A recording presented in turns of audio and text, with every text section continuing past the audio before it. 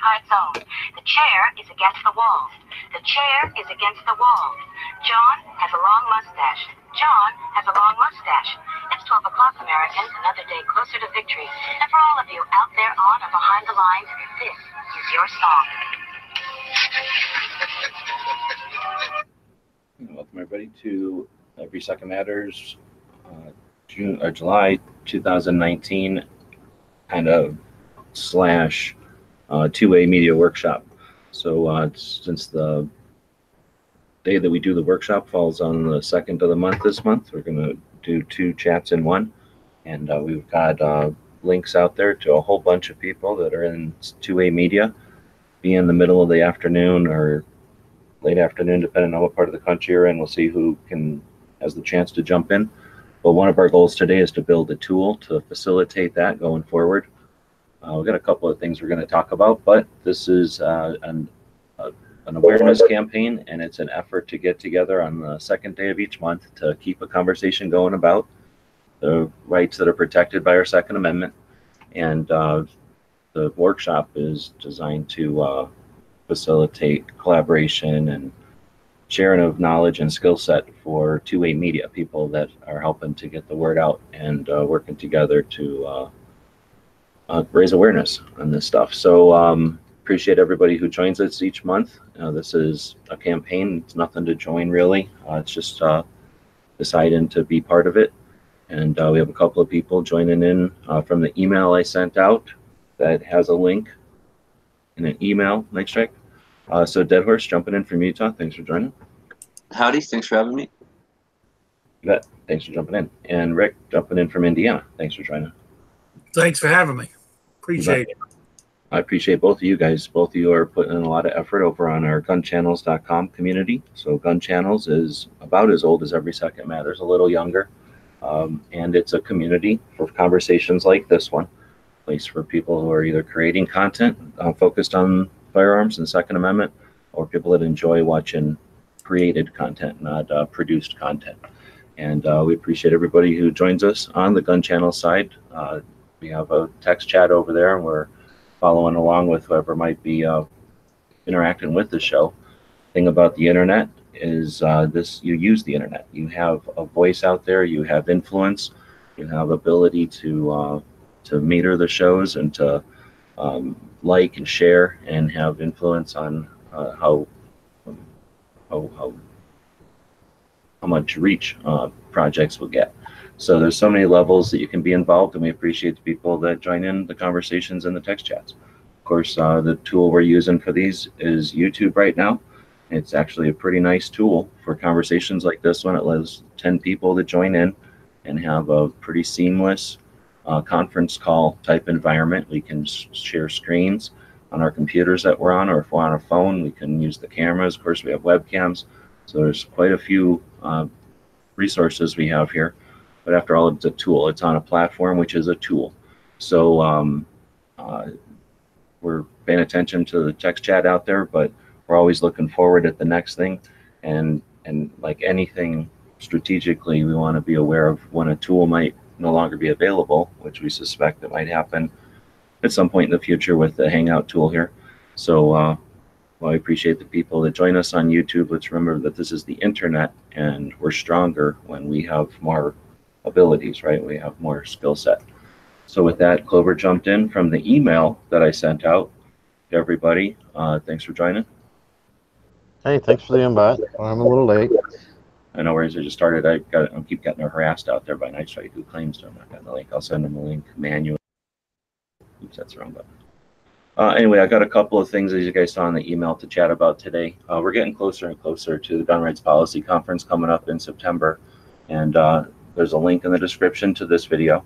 Uh, so if you're able to, if you're at all inclined uh, to participate in uh, the Gun Rights Policy Conference, to show up and be in Phoenix, then um, please consider it. It's September uh, 21st, I guess, 22nd, 20th, 20, 20th, technically the night of the Friday to the uh, Sunday. Uh, the um, 2A media, The AmmCon though, is the day before. So uh, if you can, if you're creating content uh, or you're interested in seeing what it's like to be part of that, I don't know. If I'm, I don't know if there's a requirement to be doing uh, content, but I suspect if you're going to the Gun Rights Policy Conference, they're not going to mind if you attend the AmmCon as well. You can register for both of those still. We have links in the description of this video, and I'll post them in the text chats as well. Uh, but uh, we have just a little over 60 days now uh, to get ready and plan trips and, and organize as a bunch of uh, people that are active uh, before we get to that room together and uh, see whatever opportunities we got. So, uh, Night Strike jumped in from South Carolina. Thanks for joining. Thanks. And uh, I don't know if you just see, I'm always hesitant. I send out that email and it goes out to a whole bunch of people blind copied. I didn't get it. Yeah, so I don't know if it gets filtered or what, but uh, um, anyway, if uh, you're interested in joining, let us know on the Gun Channel side or uh, let one of the people who are in here know. And it is, of course, during the day, but uh, we got to do what we got to do. So there's no perfect time to do anything. Anyhow, without uh, getting too distracted with all that, thanks everybody for showing up, both on the panel here and uh, on the on the text sides. And uh, we'll run this for as long as possible as long as there's interest and as long as we have people in conversation. There's no need to uh, beat a dead horse, as so to speak, and uh, um, we got plenty to talk about, I think. So we've got the Gun Rights Policy Conference on the schedule to talk about. We've got AmmCon on the schedule to talk about. I mentioned both of those, but we can elaborate on those as much as anyone would like to. Uh, we'd also, I'd also like to accomplish a task today, and that is to come up with a nice, uh, complete as possible schedule of all the different 2A podcasts that are going on. Uh, we have that schedule over on Gun Channels, and ideally, it was. Well, at least for a while, it's the idea was that when you uh, are posting a show on Gun Channels, you just go over there and you edit it yourself to make sure everybody knows about it. But uh, I'm thinking we can expand that to have some of the other podcasts that are going on, like Liberty Doll on Fridays and Tony Simons.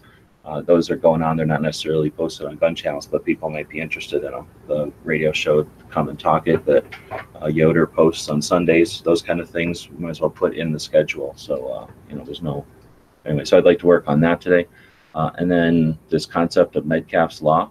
Uh, we talked about that on the Daily Gun Show yesterday, but I think that's interesting and a bunch more people in here. We could uh, elaborate on that. Uh, I guess a couple other things are um, low cost and free photo imaging software. Um, I got an email from Adobe telling me that my subscription was going to increase, that they were going to uh, take me from whatever, they were going to you know add more cost to my plan, and uh, I don't have a budget for that. So um, I attempted using some uh, non-Adobe products before, or some alternatives before and the issues where when you use a software package that has proprietary files like Adobe, uh, if, those, if the free versions or the inexpensive versions can't open your old existing files, then that's that's a handicap, right? That doesn't that really puts you back if you have to redo a lot of stuff. So um, there are some alternatives that can open Adobe files and seem to work really well.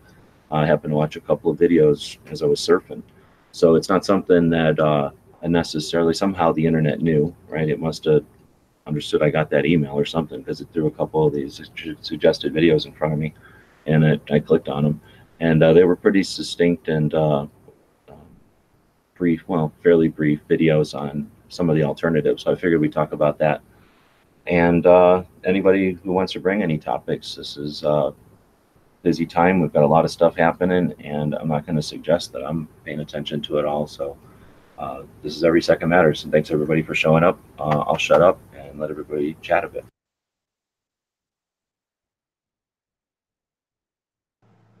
Or dead air, you know, whatever.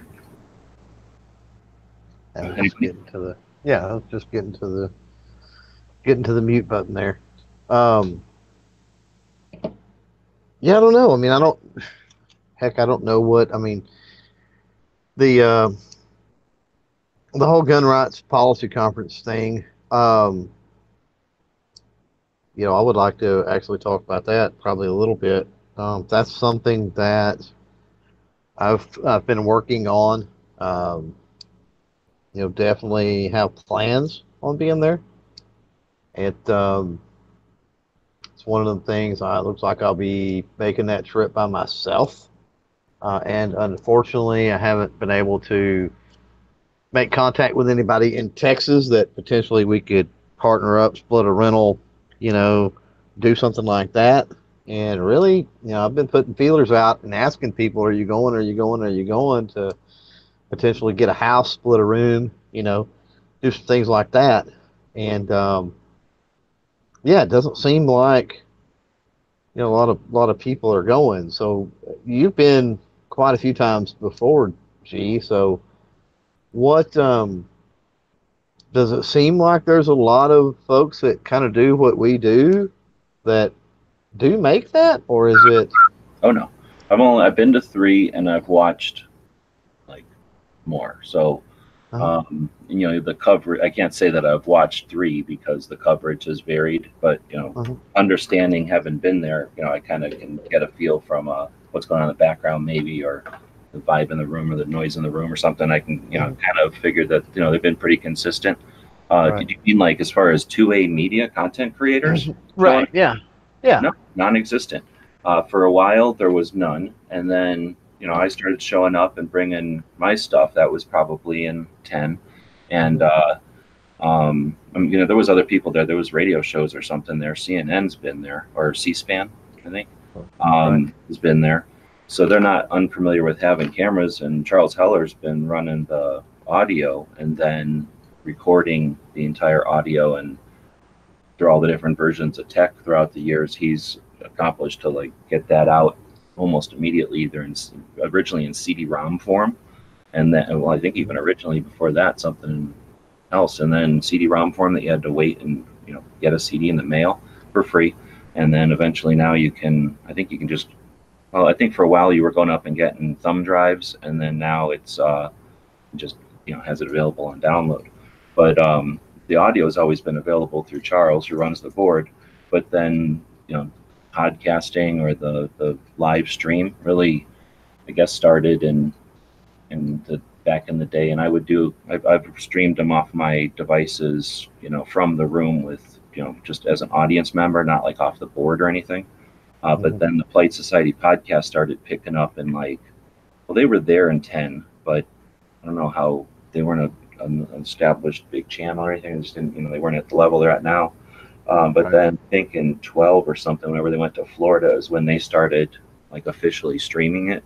So they'll officially stream it, but it's in Facebook. So, you know, uh, so then they took over, quote unquote, the social media. So as I started attending in 10, wait, was it no, in uh, 18, 17 in Dallas, right? And that first AmmCon, you know, I streamed that live just off my laptop Rogue because they weren't streaming it except for on Facebook, or I don't even think they were streaming the the, the AmmCon, and uh, Patriot and those and a bunch of other people were in there listening live, and uh, and then I think that was apparent that uh, you know the the level of or the not the level but the type of 2A media that attends AmmCon. So it's uh, authors. It's a couple of pod. Well, okay, in 17 it was no podcasters. It was people who were either authors or bloggers, um, but nothing with with YouTube at all really. And then and it was a it was definitely a workshop in Dallas. And then last year it was completely different. And they did have a couple of well, at least it was not a workshop so much as a seminar in in Chicago. But then uh, they did have a couple of bloggers who mentioned some things, but I think this year they're making it more like a an interactive workshop where you'll a, a workshop as opposed to a seminar maybe where they'll they'll talk. I think is what it's. We'll look at it here in a minute, but I think they said they're going to talk and then have an open discussion or something, so you can uh, get some back and forth. So they had people that were there, but they weren't covering it, and then it, there was certainly no call out that I'm aware of that like either like hey you're able to or you're encouraged to stream share or anything like that um at least nothing more than like a cursory like thanks for sharing this or something you know nothing deliberate nothing strategic for damn sure and uh and nothing in what would be like all encompassing. No like deliberate, let's bring the best tweeters in here and sit here. Let's bring the best Instagrammers in and give them a seat here. Let's bring the best at YouTubers in and give them a seat here and here. Now let's get bloggers in and give them a seat here, right? So nothing like that. I don't know.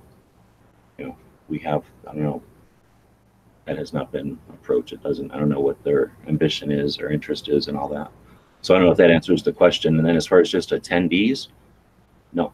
I mean, I don't know of anybody on YouTube. This is not interesting. It's a, it's a, it's a income killer. Uh, it's a downer uh, to your audience. You know, all the the pessimistic stuff. So it's just not appealing, and there's been no interest at all. This year, it sounds like there might be some interest in in established big time YouTubers showing up. Mhm. A couple, right? Well, that's you know, I don't know. That was kind of my, you know, I guess that was my question. Is I've kind of been putting it out there, and just just seems like most that are you know in this space do this thing, you know, whatever podcast videos, whatever. It's just not something that they're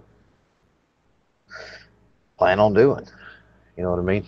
And um, I don't know. That's in a way that's frustrating. Yeah, frustrating, but who cares? You know what? Locomotives only drive on tracks. That's frustrating, I guess, but I don't care. So, um, you know, leaves leaves them over where we know they're going to be, right? We can use them they're for, and we don't expect nothing else out of them. So I'm just coming up with that on the fly because I've been listening to uh, this author guy, and I'm going to go try to figure him out. But have you heard of this thing? One of the other topics today is Metcalfe's Law. Uh, no, I don't guess. It Anybody doesn't else? sound familiar. Anybody else heard of that? I have not. I have not. So I'm gonna go over to Instagram here and I'll screen share. Uh, one of the dudes that chats on uh, match chats on Wednesdays and sometimes on Mondays, and then uh, I got to meet up with him when he still lived in in Pennsylvania when I was heading out to see the uh, the castle in New York. Um, he's been getting in shape and stuff, and he does these challenges with uh, you know various places he's dealing with or the coaches or whatever you want to call it for his like you know motivation to get in shape and all that. So part of it is part of those challenges have been to read books and stuff, and he posts about that. So I bugged him about uh, posting some of the book lists because I'm curious always to see what kind of books people are reading when they're trying to improve their self, right? Um, self-help books, business books, motivation, all those are interesting because you can learn from what other people do uh, that can work into your system or routine or project, right? So um, one of the pro- one of the books he mentions is this thing called Purple Cow by Seth Godin. Godin, anybody heard of this one before? That book, I No. guess. Nope. so I searched for it to see if I could find an audio book of it. Right, by going audiobook like this. And sometimes you can just go to videos and look at the times. And you know, if it says like six hours or four hours, that might be the full audiobook. In this case, all you get for this particular thing is a whole bunch of descriptions of it or chapters, brief summaries or something like that. So I'm just going to dig into YouTube. So now I'm not searching Google anymore. I'm only in YouTube. And then I'm just going to search for the exact same thing and see if anything comes up in YouTube. Because sometimes Google's trying to look at too much stuff. But then again, you don't find anything. Uh, I won't bother to search for it, but you don't find this particular book on audiobook at all. But there's tons of these. This is that this bald guy is him, the author. There's tons of these other things, right, that he's um, done or whatever. So here's a two-hour one. So that might not be his audio book, but that's like a two-hour talk with him and some other guy. So I think so. Um, sometimes you can find some pretty interesting stuff to listen to, even if you don't find the specific book you're looking for. So in this case, I guess I can't tell from like where my previous links were, but somewhere in here, um, probably the oh here this I did I did there is an audio book. So there's this one called We Are All Weird by the same guy, and it's a two hour and fifteen minute audiobook. So you can I don't think I'm allowed to tell you what to do with that link and where to click it or anything, but you can listen to this on YouTube all you want, and doesn't even look like if there's any ads in it. Like a lot of times there's a yellow blips every couple of minutes that are annoying. Um, anyhow, so I found some stuff from this guy just listening to maybe a 20 minute talk or maybe one of these kind of things like this where he talks about um, another topic, not this cow book. and he's sort of uh, branding versus logo. I think that's his gig. So, or his his take on whatever the speech she was talking about that I was listening to, and he had some pretty interesting stuff um, to talk about as far as like a business coach or a um, yeah, I guess you'd call it like a business coach or a, a, a business strategist, and uh, he's an interesting guy because it sounds like he's made his money. He's done, and he's now just an advi- like an advisor. He's not even a consultant. He doesn't do things according to him. He doesn't um, put himself out as a consultant anymore. He's just doing his thing and offering advice, and he publishes once in a while. So his thing, though, uh, getting back to what Clover was talking about with the frustration of the big guys not doing whatever, um, I don't think there's any point. Who cares what the big whatever do, right? There's got to be big bloggers that don't do nothing, right? There's big whatever reviewers that ain't going to do nothing. There's big entertainers that ain't going to do nothing. Who cares? Because this guy's whole thing is the concept of um, we've talked about it in other chats before, but the idea of the few motivated versus the when you look at a bell curve, the few motivated at the beginning on whatever the topic might be, and then you got that big gap in the middle, right? And the only people that are going to appeal to that big part in the middle of the bell curve are the plain vanilla established stuff who are following the lead of whoever is digging in. And his whole thing is that, especially with today and the way that we've got, uh, you know, the the crowdfunding and the Patreon, which we're going to talk about here in a second, and the the the Kickstarters and the Indiegogos and stuff. You don't need to appeal to everybody. You can, in his whole book about being weird, you can stay weird. You can be specific. You can be on your topic that you're passionate about, and you know use resources that are available to bring people in and and that's where I think I'm, i was digging that whole concept. I want to listen to more about this guy's stuff, but um, for us, uh, if we each if we each are doing our own thing, let's say, and uh, and having this conversation with our, our own audiences, uh, and then to some extent aware of each other, and as Clover would say, having bridges to other and, and their conversations and their audiences and their uh, areas of interest that's where we're, we are strongest, right? That's like having a bunch of bricks that work together as a system and are stronger than any, you know, pile of rocks, maybe. Using a great analogy there, but you know, is that, you know, to answer the frustration that, you know, the ones with the momentum and the ones that have the numbers and the ones that have the attention, you know, we can't steer them or we can't force them to change. But what we can do is do our thing and motivate the numbers that need are needed to keep us going and to um, be persistent in the ears of the representatives. You know, affect change. It only takes three percent of people to affect change on political issues for the most part, right? Not eleven percent maybe for big stuff. hmm right. Anyway, I've been chatting for a bit, so um, I'm gonna go get some water. And what do you think of that whole concept? Uh, oh, we haven't even talked about the concept or whatever, but that's where I got the concept of um, Metcalfe's law. Did anybody was anybody around last night when I talked talked about it? No, I was not. I I wasn't either, no. Let me see if I can just find something that will explain it. I think I had a little robot that explained it yesterday.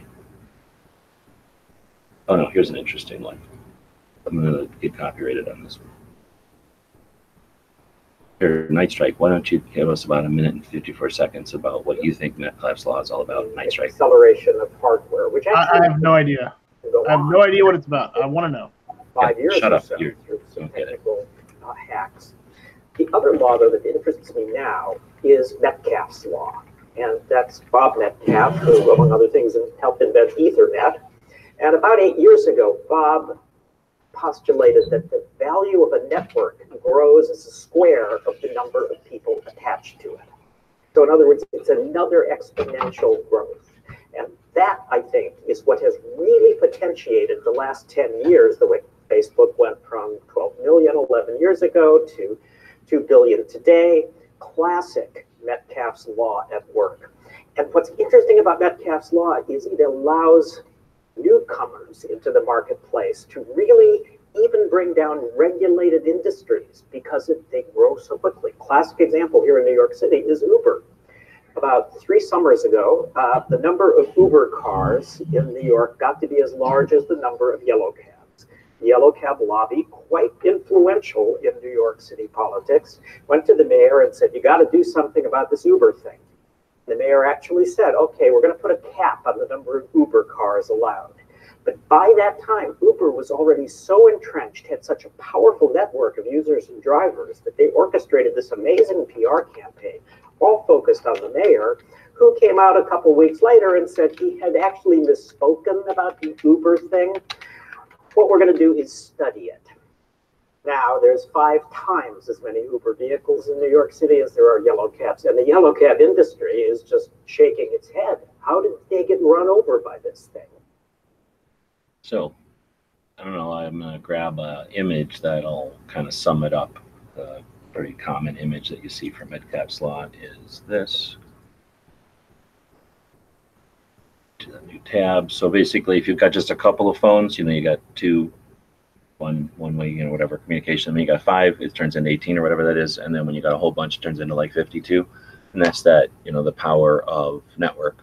And I thought there might be something since we're talking about keeping a conversation going where, you know, is this a visual representation of what we're trying to uh, keep going with every second matters?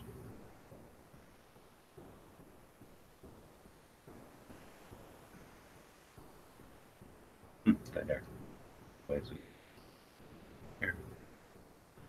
Just a- Sorry, sorry, getting to the getting to the mute button. No, I mean, yeah, I think so. And with you know the the theory, I guess the theory is with with everyone you bring on, it it feeds on itself at a at a certain rate. Is that I'm not quite understanding the, the theory there. Oh, it's just the. Let me go back to that picture. It's just, well, you saw the picture, right? Or did you? I can't I can't see the picture. I'm on mobile right now. Oh, let me go back to it. Um, basically, if you got two telephones, there's one line between them. But if you got five telephones, you got a line between each. You got the ring of them, but then you've got all the cross connections.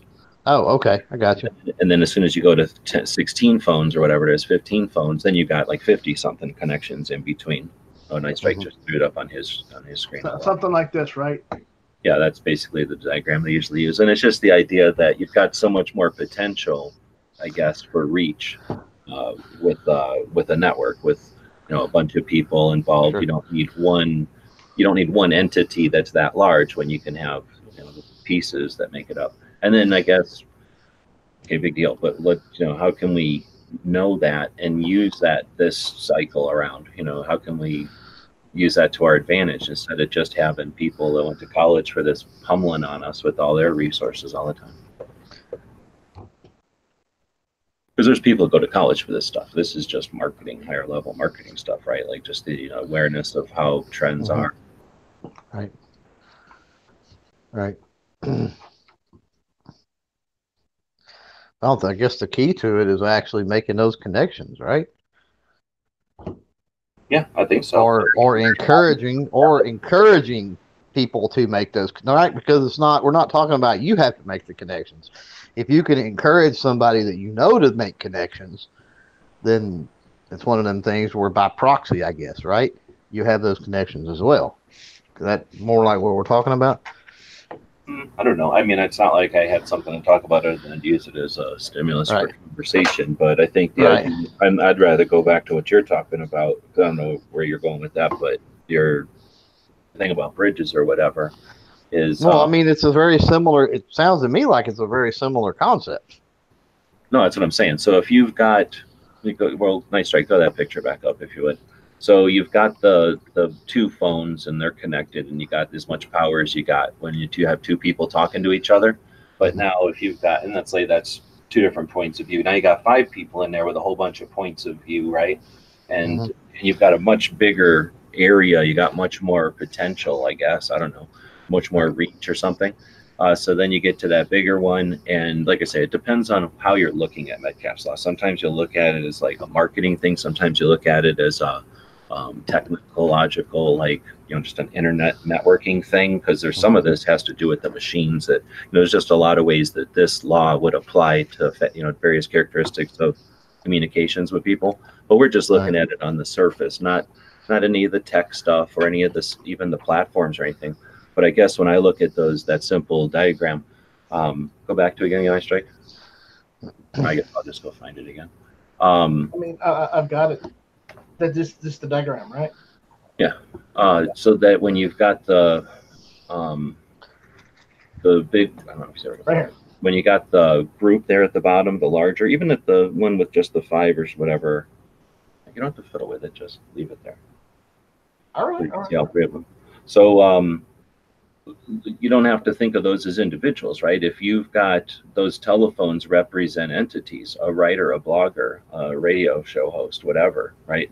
Them connecting is is bigger reach connecting, right?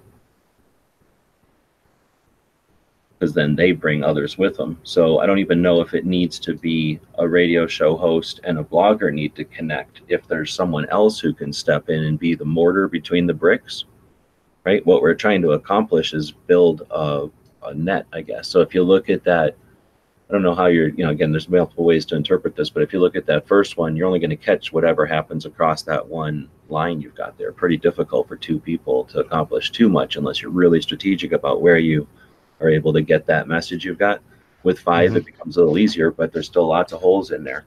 And obviously, as you get more complex, it becomes more close to a solid thing where it's almost impossible. So, anyway, Right. just Well, right. Remember, the Yeah, telephones are just an example. What?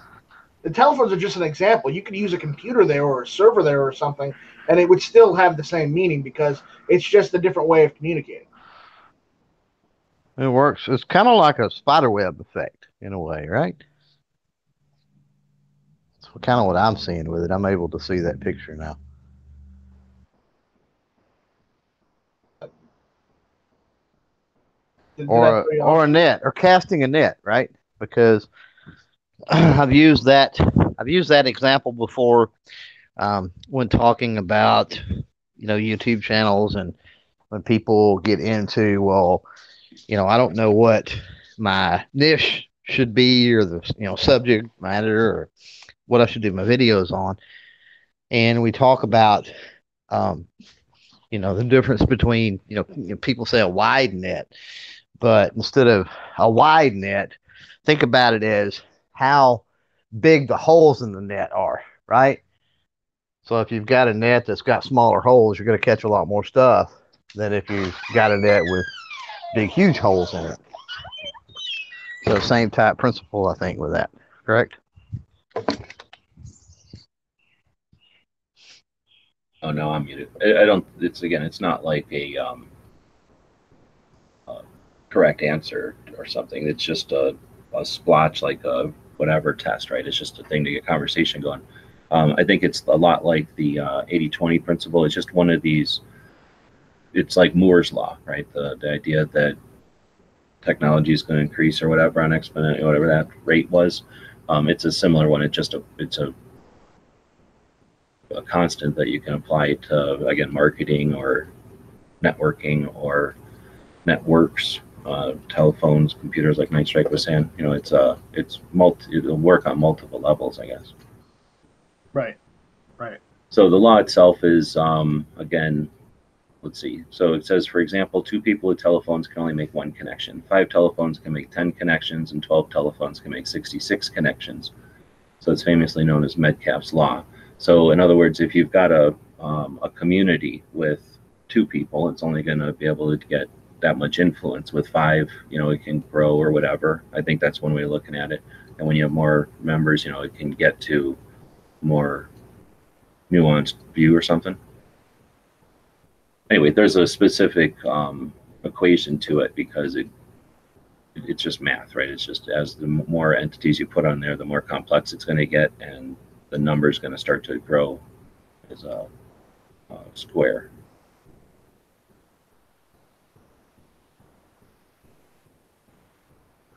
So then the question is, how do we use this? Is that what Yeah. you were? yeah like i say this is really just kind of a, sort of like the moore's law like sort of a tech thing Mhm. like hey at some point a network's going to get so complex that you know it has a finite or it has to you know reaches a tech value there's so many ways to look at this but um, yeah how do we apply it to the concept of 2a media who are potentially a bunch of entities and you know i guess you know how do we apply it to us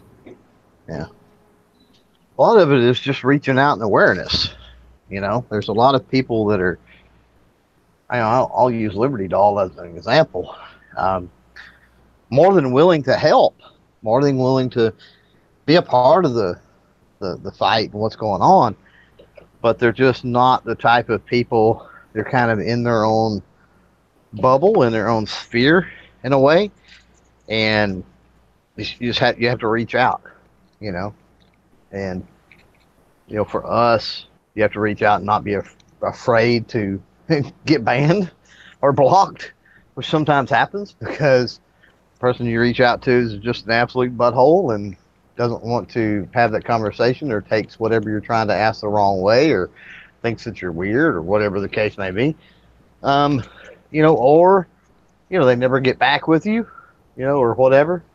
Um, there's a lot of things that you have to deal with when you're branching out, networking, you know, trying to talk to people. But you know, I go back to the thing that you know, not only branch out to people and say, hey, you know, would you like to work with me on this project, or hey, you know, have any interest in helping with this particular project or whatever, but also encourage them to you know work with other people that are maybe doing similar things they are. Say hey you know are you aware of this person you know. So this person is doing you know similar content with you or stuff along a similar line similar topic um, similar flow that sort of thing. You know do you know about them? And and if they don't you know then try to you know be the operator i guess in the little diagram you were kind of showing there. You know help them make make that connection. That's one more connection to the to the web even though that's not you know not one i'm willing to make. It's like eh, i'm not really into what this particular person does but i see the value in what they do. And so what i need to do is i need to you know i don't have any interest of collabing with them or doing anything with them or working on a project with them. Um, but you know i do know some people that would. And so you know let's let's work to make that connection happen. Another way to look at it is, you know, you've got a couple of things and you've got pretty, um, you got an ability to control the conversation because there's only two sides of the conversation. When you get to five, it's still possible to be aware of the conversations, right? The to be everyone to be aware of the conversation that happens or the results of a conversation or a collaboration. When you get to too many, um, it becomes staggering how many potential variables there are, right?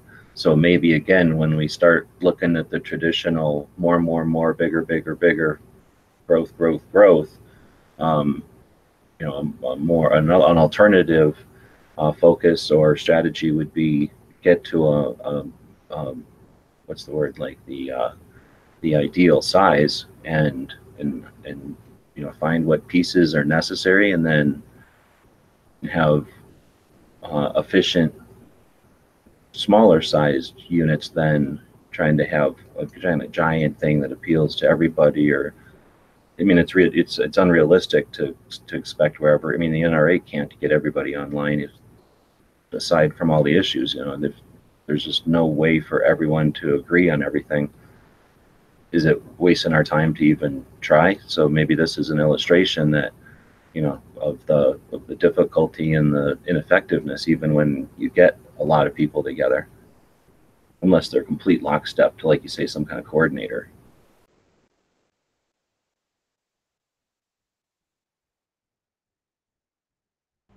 Yep. all right well i'm not going to try to get blood out of stone here so we're going to talk about the AmmCon so we talked about that briefly at the beginning of the show it's the gun rights policy conference coming up in september and the day before, the Gun Rights Policy Conference is a Friday night, Saturday, and Sunday event. So the Friday before, uh, during the day, is the AmmCon. This will be its third event.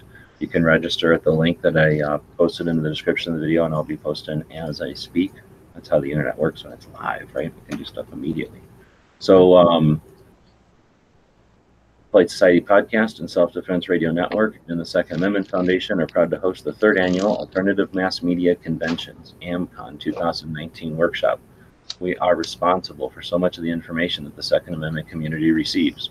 We must hold ourselves to a higher standard than that of the local and national media. So we have set aside a full day that we will be dedicated to a full day that will be dedicated to podcasters, bloggers, YouTube creators, and anyone else in the new media that has a connection to the Second Amendment community.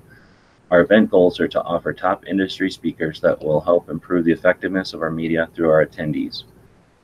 Okay, so the goal is to offer industry speakers, right? They're going to improve the effectiveness of the media through the attendees. So the attendees are going there to improve their skills, right? And their networking. Same thing like KD did at his uh, train and learn event. Similar goals there. So some of the bullet points here offer guidance on how to better connect with their consumers, viewers maybe, improve journalism with fact checking and why it's important to get it right the first time. Um, advise the effectiveness of new technology and products available to the Second Amendment media. Oh no, sorry, advice on the effectiveness of new tech and project products available to the 2A media. Interview techniques, investigative journalism for the citizen journalist, monetizing your media, uh, turning the consumers of media into activists. That's a worthy goal. Roundtable discussions, and that's new for the third year here. Actually, a lot of this stuff is new. Uh, so then it goes on to say sharing info, info among our guests will strengthen their resources and will help build a solid connection with their consumer. Uh, our attendees' reach of their combined product is in the tens of millions. Continuing education is a vital part of any industry, and AmmCon is taking the lead on Second Amendment new media education. The workshop will take place on Friday, September 20th, which just so happens to be the day before the Gun Rights Policy Conference in Phoenix, Arizona. So there's no excuse not to attend since a large number of new media will attend the same venue. Remember, we are responsible. And then uh, you can click, where's the link? Oh, I guess I already registered maybe. So, or no, you click on this link and it takes you to this Eventbrite thing that's just like some sort of a reg- re- reservation system or something. And it's free and you're going to get fed. So, uh, lots of, I guess they don't have a, a list of speakers or anything right now, but uh, you can see they're going to cover a bunch of uh, or, or, you know strive for a bunch of good goals, decent goals. Oh, maybe they are going to talk about speakers over here, or they're gonna. They're ready to. Looks like there's going to be registration. Then there's going to be a welcome and opening remarks, and they'll post the rest of it later. And it's in Phoenix, Arizona. Does it say where in Phoenix is going to be? Have they got a location yet? Yeah, same place as the Gun Rights Policy Conference at the Sheraton Crescent, Okay. which is on 2620 West Dunlap Avenue, Phoenix. So, would you say you get more out of more out of AmmCon or more out of GRPC? They're different things. Gun Rights Policy Oh, okay. Conference is, you know, the gun the gun owners' rights groups are going to take the stage and they're going to talk about what's up and what they need and what they can what they see in the future. Going to get uh, focus groups and, and different areas of interest that get up and and do the same. And then you've got a room. Well, last year it was what 300 people. So a room that can hold 400 people will be filled with halfway filled with 300 people ish, and uh, or something like that. And then you'll get a pile of books and stuff. So it's uh, it's drinking from the fire hose of info on all kinds of stuff, and then uh, and and that's a conference. So you're basically absorbing all that. Uh, there's very little interaction. It's just observing and, and you know ideally archiving or, or streaming that.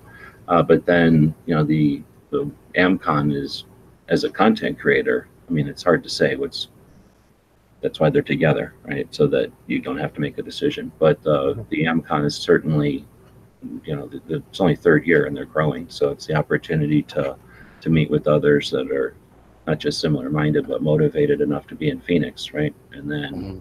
very much like Kevin's event, um, you know, you've got a relationship with them, you've got a, a shared adventure, and and then all the knowledge that's going to come up. It sounds like they're going to do workshops and stuff. You know, there's going to be a lot of knowledge there, and uh, and then just of course to be in in a room is inspiring, and being in a room with uh, people that are again motivated and and already established and you know have accomplished. You know, it's a it's in a great environment, and it's free, so you can't be free. Well, it doesn't cost you free to get there, but free to be there.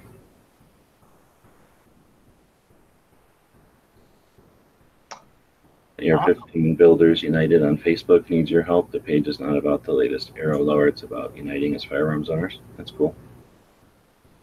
Not much of a Facebook person, but I'm sure there's people here. If you want to let us know, you can drop a link. Saying networks have hubs.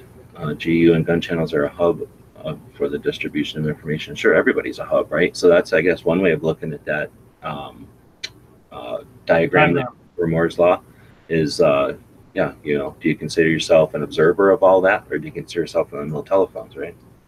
And Right. that's where I think I was going. Is one way to look at that too. Is that you don't need to have uh, Yankee and Pincus like each other. Yankee and Jaeger don't need to like each other. Yankee's going to be Yankee. You know, and I guess you could debate whether that has value or not, but he's certainly going to be Yankee.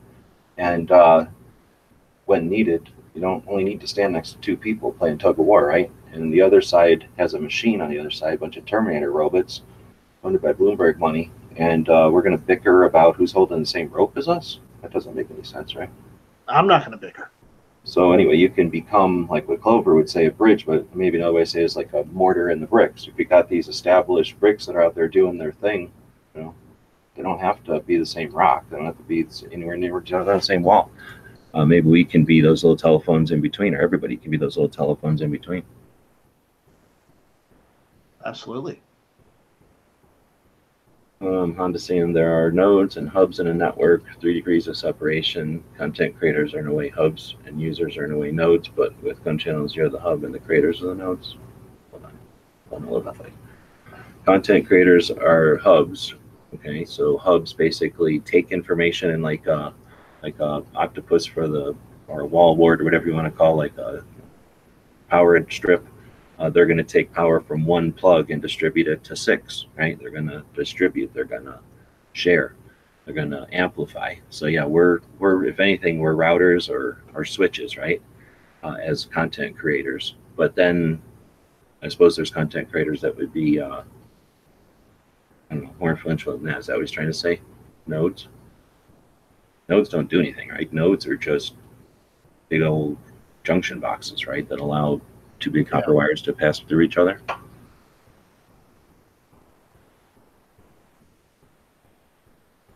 But I believe so, yeah. we're just playing with analogies there. So anyway, that was uh, AmmCon. Man, it seems like I'm node to the end users. Okay. I don't know. And then in, in, in 2019, do are we satisfied as end users? That's ridiculous to me. That isn't that part of the goals of AmmCon?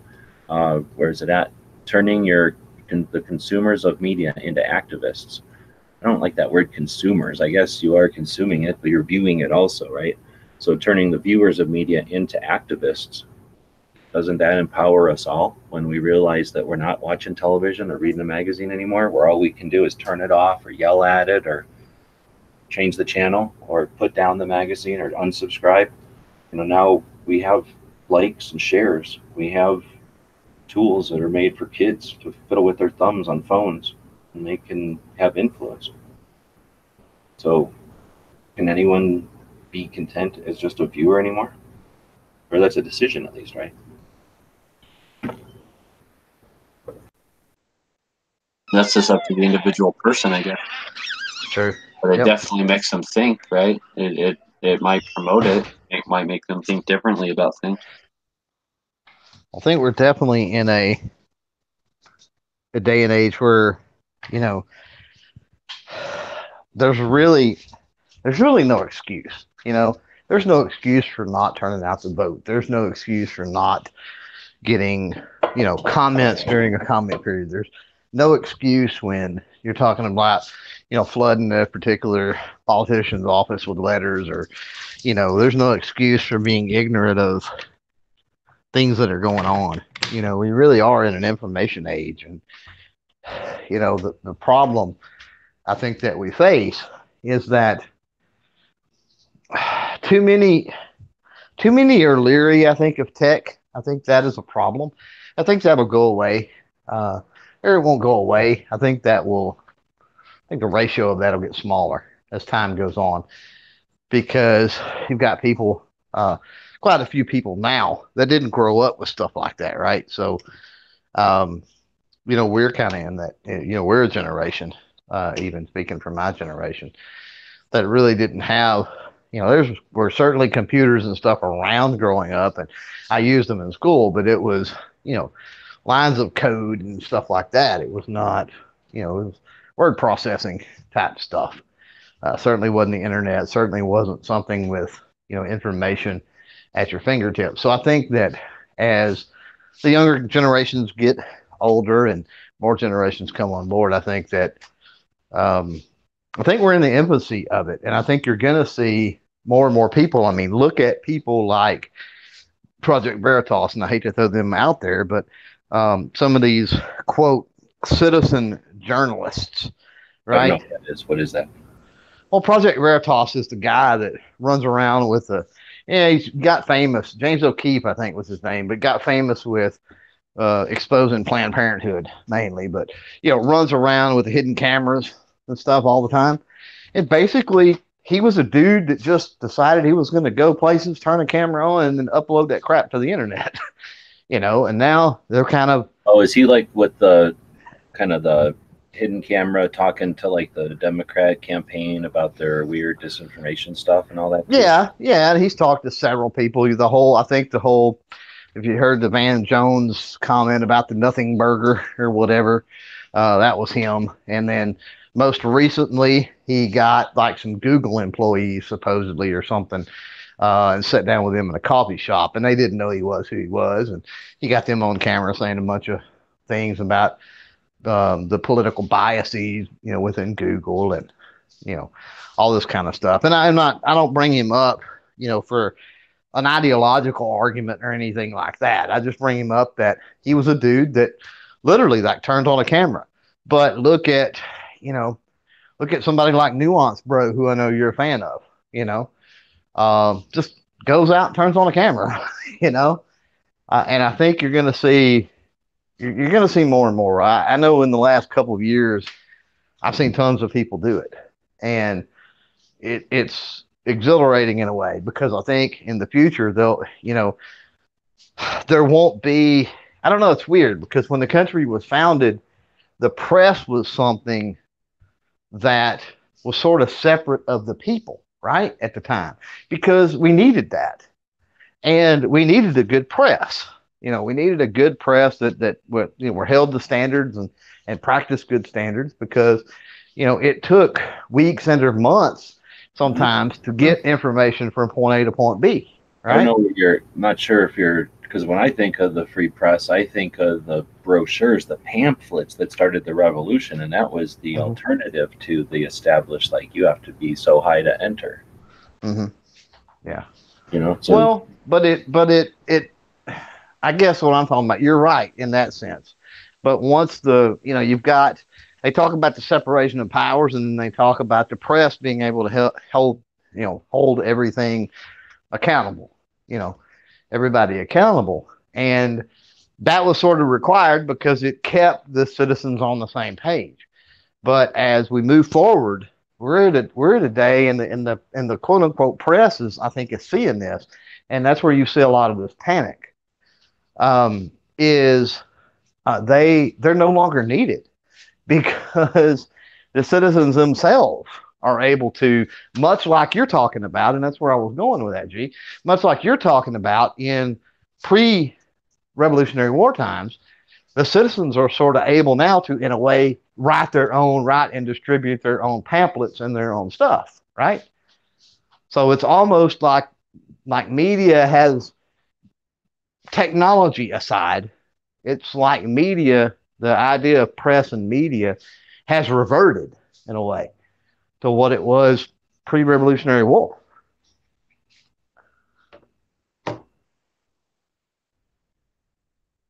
Where everything is just guesses and nothing is true.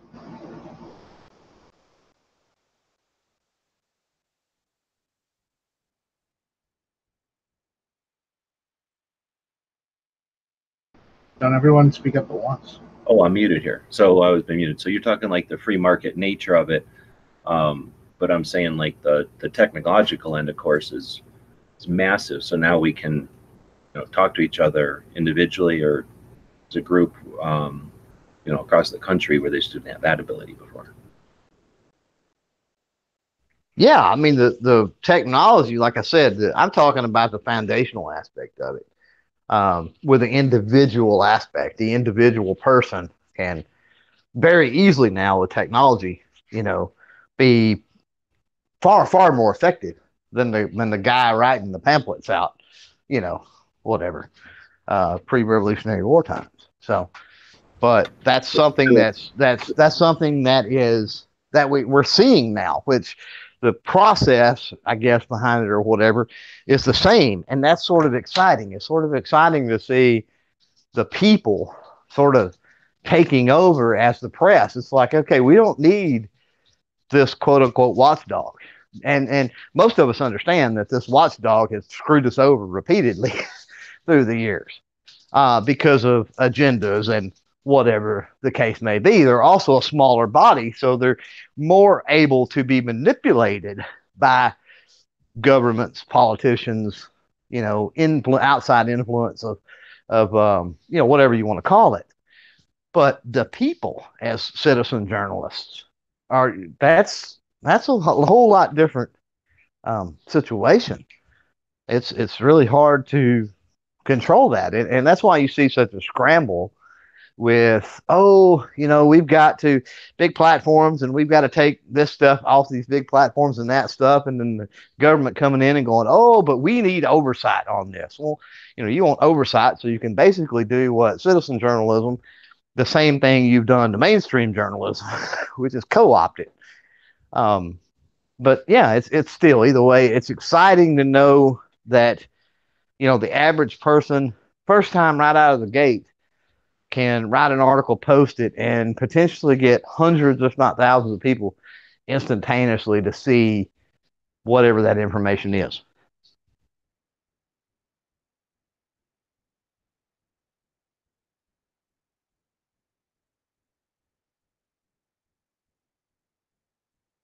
All right, Ghost jumped in here from Arkansas. We're just solving Second Amendment. Uh, if you would just solve it for us real quick. Yeah, uh, I'm going to borrow a line from Night Strike. Shall not be infringed. Shall not be infringed. You're getting like four words. Thou shalt not be infringed. No, it's eh, no. Actually, actually, I, I believe the old expression was, "Thou shalt not be infringed."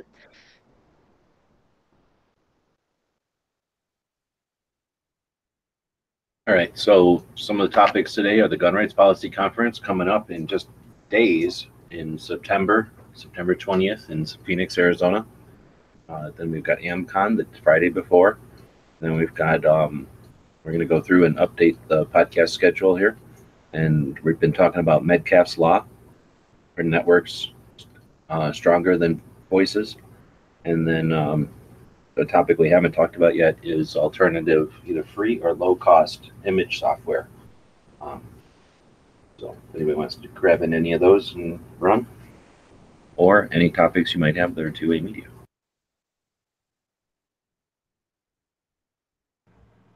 I'm not going to be. I'm not going to be any good probably on the free low cost image software because I don't know in all my years that I've ever used anything that was uh, free or low cost. But I was fixing to before Night Strike jumped in and said, "I bet you Night Strike knows." Uh, as far as uh, image editing, yeah, I use uh, GIMP. It's like Photoshop, but it's free.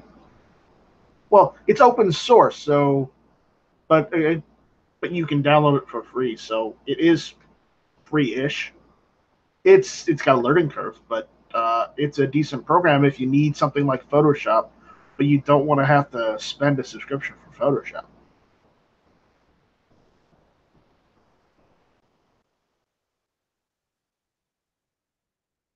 That's all I got.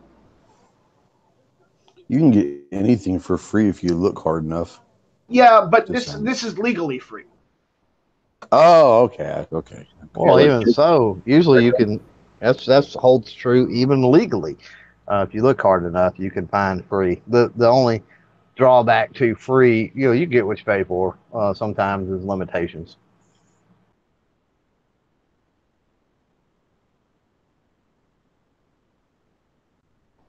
Yep.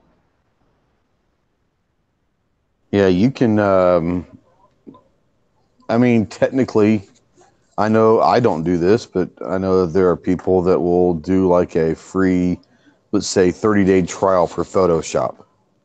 Put their email address and into 30 days, they'll create another email address. And, you know, so I mean, if you're willing or able to have an infinitive, you know, amount of email addresses, you could technically be working on a trial. Like, but like Clover said, um, those are going to have limitations. I have never used GIMP. I know a lot of people that do use it, and I've never heard anything bad about it. I think, like even Night Strike said, there's a learning curve, but there's a learning curve for everything. If you know, when you start using uh, Photoshop or G, I think you use uh, Adobe, was it Premiere or, so, or one of the other Adobe ones? There's going to be a learning curve for any program, but if you can find one that can get the job done, I mean, uh, like I said, uh, from what I understand, I heard GIMP's pretty good yeah, it, it it works. I mean, yes, it doesn't work exactly like Photoshop, and it does things a little different than Photoshop. But at the end of the day, if you need to edit an image or if you need to, you know, make a picture for your website or whatnot, you can do so using GIMP, and you know, it'll it'll have just the same effect as if you had used Photoshop. Yes, it'll be a little different different on how you accomplish the goal, but the end goal is the same as if you had paid for Photoshop used Photoshop. So, so I'm on. Oh, oh, sorry, G. Go ahead. No, go ahead. I was just saying I'm online right now, and I just typed in free Photoshop alternative. Number one is GIMP, and you guys let me know if you've used any of these. I haven't used any of these. Number two is Inkscape. Number three is Pixlr. I've used number, Inkscape. And number four is like Krita, K R I T A, and number five is Canva. I've never heard of any of them, but I mean, a lot of these are, are browser based um, uh, Inkscape is primarily is used for, for, for vector type images. So if you need to do a lot of vector images, you'd use Inkscape. Canva is just a free online, and while they say it's free, it's it's paywalled. So I'm not a very big fan of Canva. But uh, Inkscape and GIMP are probably two of the best uh, open source slash free image manipulation software there are on the internet right now.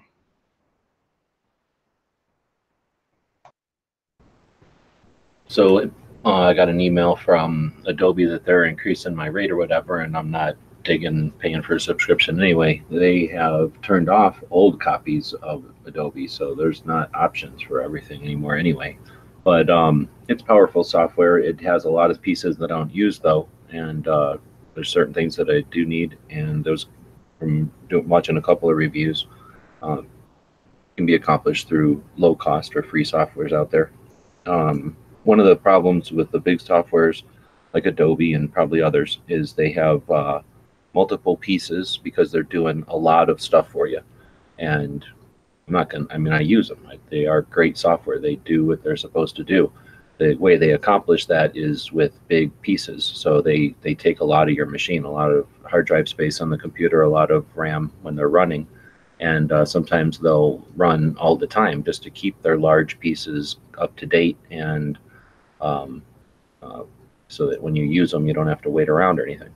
So uh, those can have advantages and drawbacks depending on how you use your computer and what you value out of the resources your computer can offer. So as uh, I said, uh, they they've told me they're going to up the the subscription rate. So I've been looking. There's quite a few. YouTube is a great resource for finding edit um, any kind of tech, uh, software, hardware reviews and um, discussions or comparisons, I guess. So uh, one of the people that uh, had a problem with Adobe and uh, decided to leave Adobe. Uh, used Illustrator, and like Night Strike said, the Photoshop is for raster images. If you think of an image like this purple swatch on the screen, that can either be created on the computer as a bunch of purple dots, or it can be created on the computer as a mathematical equation that creates that shape. And a raster image is the bunch of purple dots. That's more emulating a, a photograph with an uh, on film with a negative and the different things you could do in a dark room uh, to to work with that negative and the exposures and the um, brushes and things are all very um, realistic and uh, detailed oriented um, drawings, and they come out as JPEGs. Basically, they come out as raster images uh, for large and small, for machine codes, for things that are going to look more logo-ish than photograph-ish. Uh, you use vectors is another type of file, and that again it uses instead of a bunch of circle, a bunch of dots to represent a circle that are in the shape of a circle, it uses a mathematical equation for a circle, and the end result, as far as the software itself, and as far as um, the the files when you're done, you don't notice any difference. I mean, using Photoshop and using Adobe Illustrator is basically the same. They, they come from different sources, so their tool bars are different but the pieces that you use, what you accomplish with those tools, the end result, you can't hardly tell if an image came from Photoshop or from uh, Illustrator uh, or the comparable files on whatever other platform. You know, there's different things. There's besides Adobe, right? There's um, what's the other big one? Uh, can't think of the other big one. Not Sony. Um, but anyway, there's a couple of the big ones, and they'll have suites or they'll have software packages, and they'll do Adobe. I mean, they'll do vectors, and they'll do Paint Shop Pro still around? no, that's not the one I was thinking of. Corel. I was thinking of Corel. Corel, yeah, Yeah. Corel, yeah. But um, so anyway, so when I'm thinking about not using Adobe, I think about the um, the the uh, Illustrator files, the the vector images that I've got, and you'd have the same issues with changing from Photoshop. If all your files are saved in Photoshop format, which is what PSD, then uh, you know those editable files that you might need to go back and change. You know, you might have a, a logo that you update and you go into that editable file and you change a little thing and then you save it as a new version or a, you know the this year or you know whatever increment you're changing on it uh, if you've got a whole bunch of resource like that uh, content that you've created that's got editable versions and you can't open it in your new software that's a big problem right that's a big hindrance That's why I mentioned GIMP because GIMP has some backwards compatibility with uh, PSD files and Photoshop files. So, you know, if you made it if you made it in Photoshop and you tried and open open that PSD in GIMP, you should be able to, you know, get work your way around and continue using it. Okay. So there is some there's some backwards compatibility. It's not perfect because remember open source compared to paying out the yeah hard to call open source backwards compatibility to one of the largest like a billion dollar software package but you could say cross compatibility and would I, I guess cross compatibility would be a better term, yeah. But it, it, you can open PSD files. You can even export as PSD files as well. So uh, it it is something to look into if you want to try and switch over to that. Okay, if you're quick selling GIMP, can I talk about the two that are on my screen that I'm trying to get to? So Okay. you guys talked about Inkscape, and that is a free version, and I've used it. It's okay. Uh, it, it can open an AI file, an Adobe Illustrator file, uh, not easily. You have to fiddle with it a little bit. You have to change the extension on your file before it'll be able to open. Uh, but once you install it, it's very small compared to uh, Adobe, and uh, it was just as powerful for the things that I ever did with it. Uh, so I'd highly recommend it if you want a free option. Like Night Strike said, it's open source, right? So it's being developed by the people that use it, that are nerding out in how to use it and looking for new things and figuring out how to adapt it. And it'll come out with new additions periodically uh, for free. So that's something that, as long as a user base uses it and appreciates it, more than likely it'll stick around. There's always a potential somebody will come along and buy it, I guess, if that's possible. I don't know. Is that is that one of these things, or is this not? You know, some of these things are structured where they really can't be bought. They're they're too open. But uh, for the most part, I think we've got a lot of uh, open source stuff that's established now. Uh, but like anything, when you've got just a collaboration of loosely knit individuals who work towards the same goal, there's nothing. There's no actual glue like contracts holding them together. So if everybody just starts to walk away, it falls apart. So investing in a, heavily in an open source is always a bit of a risk, a bit of a gamble. Uh, but the larger established ones are less of a gamble, I guess. Uh, and then there's this new one I've just heard about is called Affinity. So it's got a couple of versions to it. It looks like uh, when you click on it, it's got a photo version, which I'm guessing is like a Photoshop version. Uh, and then you got a designer version and then a publisher version. And again, going after those um, items from uh, other platforms or other companies. And I don't know if it'll show you on the screen. When you go to buy it, they're like 40 bucks. So uh, you buy them, but you, know, you pay an actual dollar, and that's not that much. So um, I don't know. I've heard good stuff about this one. It'll import, and it's just as powerful. So has anybody heard of Affinity yet? I have not. No. I or have not. Affinity Photo. Now, the thing that they don't have is video, right? So it'd be nice if they had a video, but this is more graphic. Um, so we'll talk about video in a different one because if you get rid of the Adobe Suite, then that means you're getting rid of Premiere also, and that's the reason I use the Suite. I really like Illustrator, but Adobe Premiere is awesome. Isn't that what you use, Ghost? What's that? Don't you use Premiere for your video editing, or do you use? No, I use uh, CyberLink Power Director. Oh, okay. You, you have uh, Premiere though. I don't have. Well, I mean, I, I don't. I have After Effects, and I've got Adobe Audition, um, and Photoshop, but I haven't done the Premiere side thing yet because I just I've always used CyberLink Power Director. So I'm just one of those people that once I kind of got something down, I don't change it unless I have to. Yeah, there was restrictions on it, so I was looking for more, and uh, I'm gonna dig into some of these. I don't know, like say, uh, they're when you talk about these subscription services, you know, it's a it's a chipping away. It's not the money; it's the principle to some extent. And then when you look back at a year, you're like, yeah, it kind of was the money. you know, when it when it when you have to go back and look at it for taxes or whatever, you're like, wow, that was a lot of money for that software. I mean, you can do things with it, but uh, I don't know. So uh, overall, y'all are mostly using free versions of software then? Uh, no, I mean I bought Power Director and and I, I upgraded. I don't know about a year or so ago, maybe a year and a half, whenever it was that Power Director 16 came out, and I wouldn't have done that because uh, Power Director 16 versus 15 uses a lot more. I mean, a lot less RAM. It's it's a lot less um, power consuming on the on the PC when you're using it. Um, but but if, if it hadn't done that, then I would have probably stayed with you know I, I've bought all the programs, but I haven't gone to like the Creative Cloud yet, so I'm still using like an older Photoshop before the cloud came up. It's not cloud based. See, and that's the other reason I like the Adobe is because with the cloud, with this cloud subscription, you get uh, their whole suite. You get everything, and they have a bunch of little stuff, but then some pretty major things. Photoshop, Illustrator, and Premiere are their vector, raster, and video editors. But then you get uh, Dreamweaver. I don't know if Clover ever used Dreamweaver back in the day, but uh, I don't. Use I it. used it. But um, you also get uh, the cartoon thing.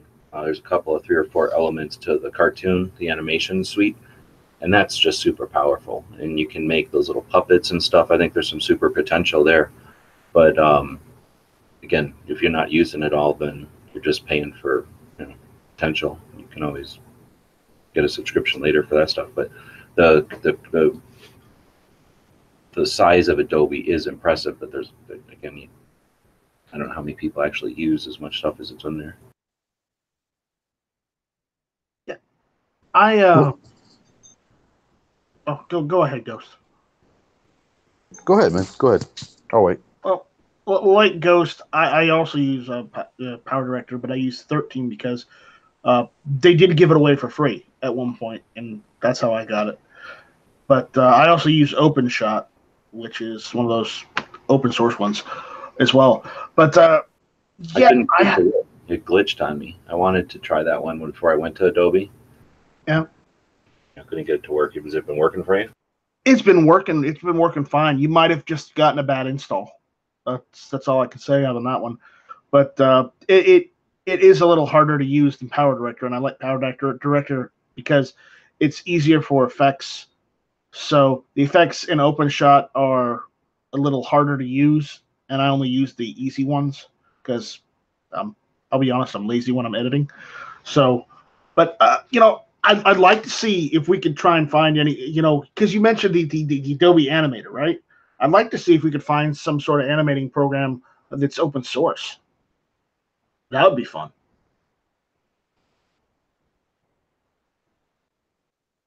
Hey, G, I got a question for you. Um, and there might be other people out there that might be thinking the same thing, but with the cloud based um, Adobe suite, and I know that the cloud, I think, was supposed to give you more and easier storage, but it's also probably to help relieve some of the um, the consumption of hard drives. But when they're running, do when you have those the, when you have that suite, the Adobe suite, whatever, is it is it a lot of RAM being used when it's when it's running, or has the clouds helped that out as well?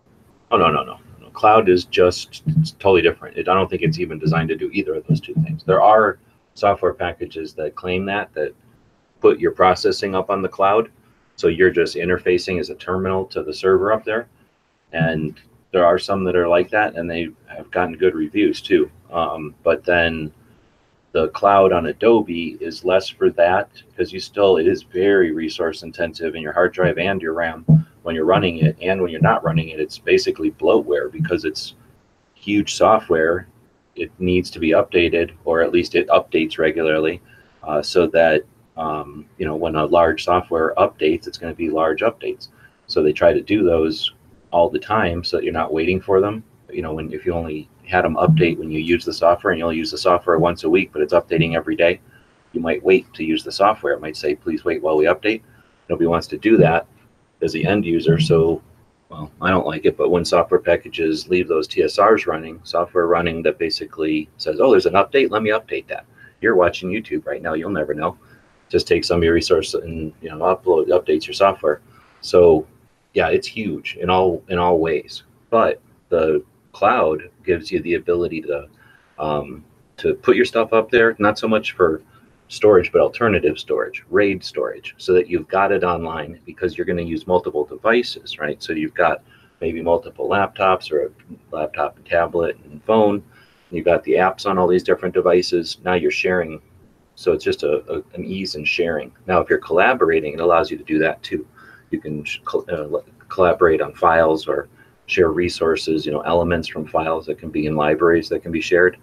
So that's where the cloud is super useful, and collaboration and that kind of thing. And that's where I think there might be some potential too. Uh, that answered the question. I'll dig into another one. Uh, when this guy I was watching was doing some reviews, he mentioned a cloud-based um, vector, because I was only looking at Adobe replacements. He mentioned a cloud-based vector software that was collaborative, that was designed to have teams use the projects and that seems really su- super interesting when it's open source so it's you know not cost anything.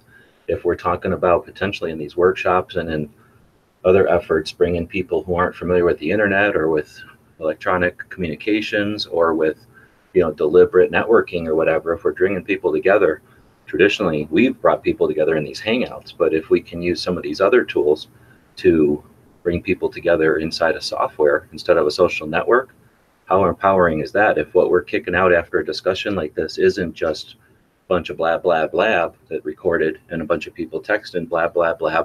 You know in addition we could be doing a, a poster or a handout. And at the end you download this thing and print it out at your local gun shop and it's a call to action. Maybe with the obs and everything. Um, and you know in a collaboration type of environment software maybe uh, we could have chats evolve into that where we build stuff in these chats, digital stuff. That's, that's an interesting concept. I like that idea. We could all throw pieces of videos together and build them online in a shared software. If that something like that exists, we're talking about video, or we're talking mostly image, I guess, today. But you know, in the future chat, we could talk about uh, video, uh, what cloud-based video potential editing.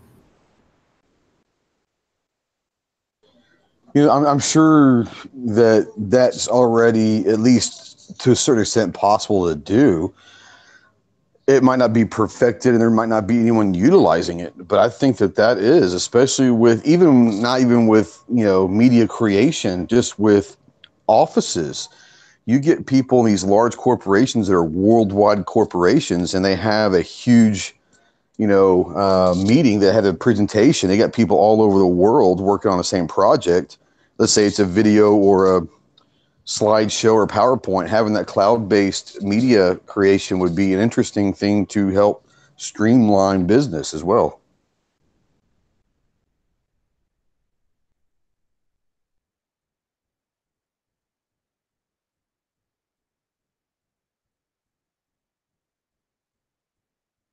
Ugh, like pulling teeth. So uh, appreciate you guys jumping in, but uh, I don't know. So it, you guys are all not using free software. Um, any software that you don't have that you're looking at getting or acquiring or thinking about using? Specifically, no, but I've been looking into um, not on the image front, but you know, on uh, facilitation of live stream. Been looking at some of that stuff and potentially would have to pay, you know, like the Adobe or whatever, you know, had to pay a, a monthly fee on that sort of stuff. I've been looking at in the OBS to run through YouTube uh, live if uh, Hangouts does indeed, in fact, go away in such a way that you know we either have to pay too much money for it or or whatnot because some things are still unclear about that. So I've been just kind of looking at that a little bit, see what's involved. Pretty involved. clear, pretty clear at this point. You know, we we know for pretty much a fact the free is going to go away. Yeah, I've been looking at getting software for uh, some of the other projects I'm working on. I can't say which ones, but uh, the larger projects. So I've been using a, and we talked about it on uh, on different chats. Maybe it was Clover's After Hours or something. But I use a free uh, software. and It's media creation. I use it for everything. Uh, for I use a virtual mixer. Um, it's this free software called Voicemeeter, and if people are looking to get into podcasting or whatever, it's a free software that uh, you can just download and use it as an actual mixer.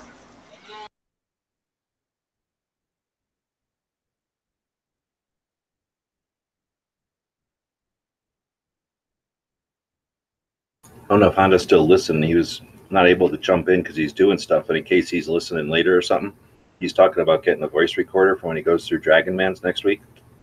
Do you guys have any suggestions for a digital voice recorder for him? your cell phone and headphones. There's every every cell phone's got a, a voice recorder on it. If not, you can download a free app on any cell phone you want and put a microphone or a you know or whatever a headset in there. And lavalier? uh, they're great, a lavalier. But uh, yeah, I mean, your phone you shouldn't have to go out and buy anything. Your phone is as powerful as any voice recorder you're going to have.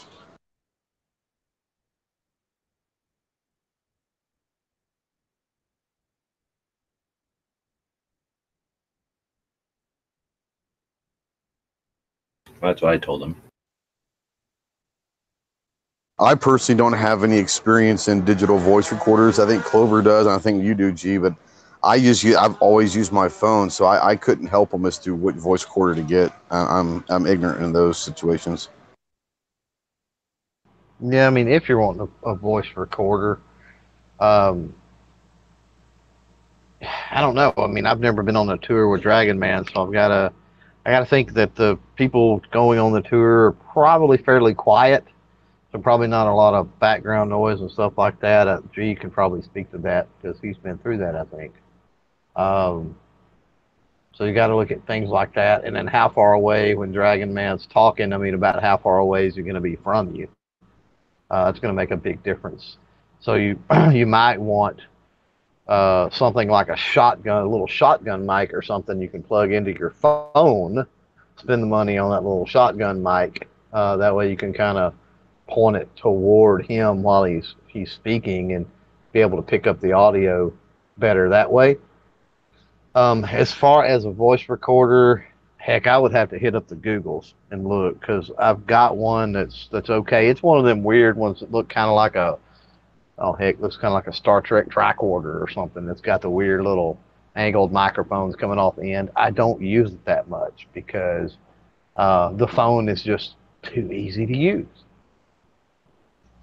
Now, if you're gonna, if he's doing it specifically for Dragon Man, and gee, you've met him, you've been around him. I don't, I don't know him, but I can't imagine that if you walk up to him and say, "Hey, before we start the tour, can I put this lavalier mark mic on your shirt and have you put this in your pocket and just have him mic'd up as he's walking around talking? I, I don't, I can't imagine he'd be against that, would he? No, he seems like the kind of dude that would totally do that. He'd make you know jokes and stuff, but he would do it. Yeah, that would be a that would be an awesome way to do it. You get real quality audio that way. Yeah, his would be really clear, and then you could sync it up with your video if you, you know, another phone or a voice recorder in his pocket with a lavalier mic, and then you're walking around videoing. You can sync up that audio for your video, and it's going to be as professional sounding as you can get. One thing I'd recommend is that uh, maybe asking him to repeat the questions because he, whether he's mic'd up or not, if it's some question from like some other person back in the crowd, you might not pick up that question, but you'll just hear his answer to it, right? And uh, so, unless someone's there saying, like, after the fact or before the fact, oh, the question was, and then you kind of know more of like what he was actually talking about or what, you know, the basis of that answer that he's given. That's That, What's that, G? I think that would be tougher to get Dragon Man to do. He just Or just do it yourself, you know, like after he answers something and you're walking to the next thing, then just remind yourself, of the, the question. Yeah, and then you can s you, then you can use your video editing, and on the video you can just type in the text what the question was while he's answering it, so people can see the question. Yeah. they don't have to hear the question, but you could, ty- like you said, the question was this, and when you sync it up, you can type in the question so it's on the video while he's answering.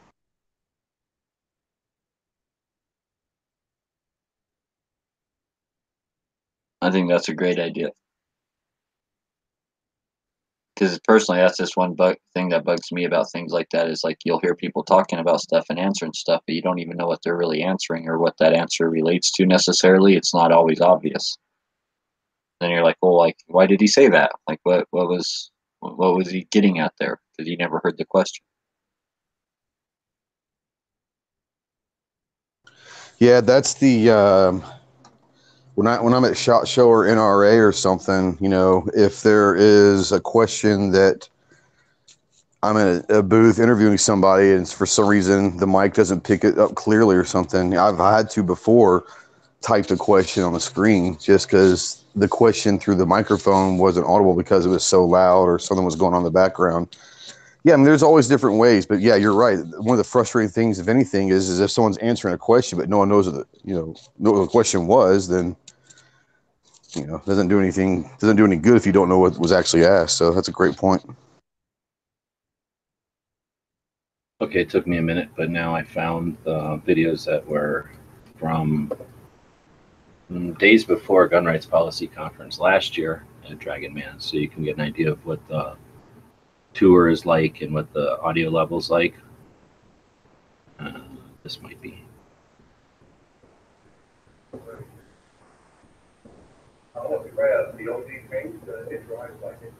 So you see how far away I am from them there and how Anyway, this is my question. This is a nineteen forty-four Euro motorcycle. It's just like a BMW, but not, not like a regular motorcycle. It doesn't have a chain or a sprocket in the back. That's good audio, pretty good audio for that kind of distance. Plus, with all the people, it's pretty quiet in there too. like you say, they're pretty much listening because you want to hear what he's saying, right?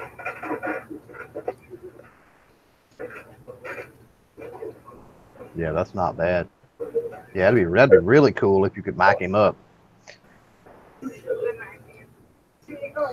Yeah, that, that was just kind of a thought. I mean, I I- can't imagine. I mean, it, you know, the initial thing is him mic being mic'd up, but I'm assuming he's just like anybody else. Once he starts talking, the last thing in his mind is the lavalier mic that's attached to his shirt. So you're going to get great audio, and I mean, that's the best way to go if if you have an, an additional phone or something you could, like you said, a voice recorder or whatever. Just do that, and then splice the audios with the video, and now you've got a really professional looking and sounding video.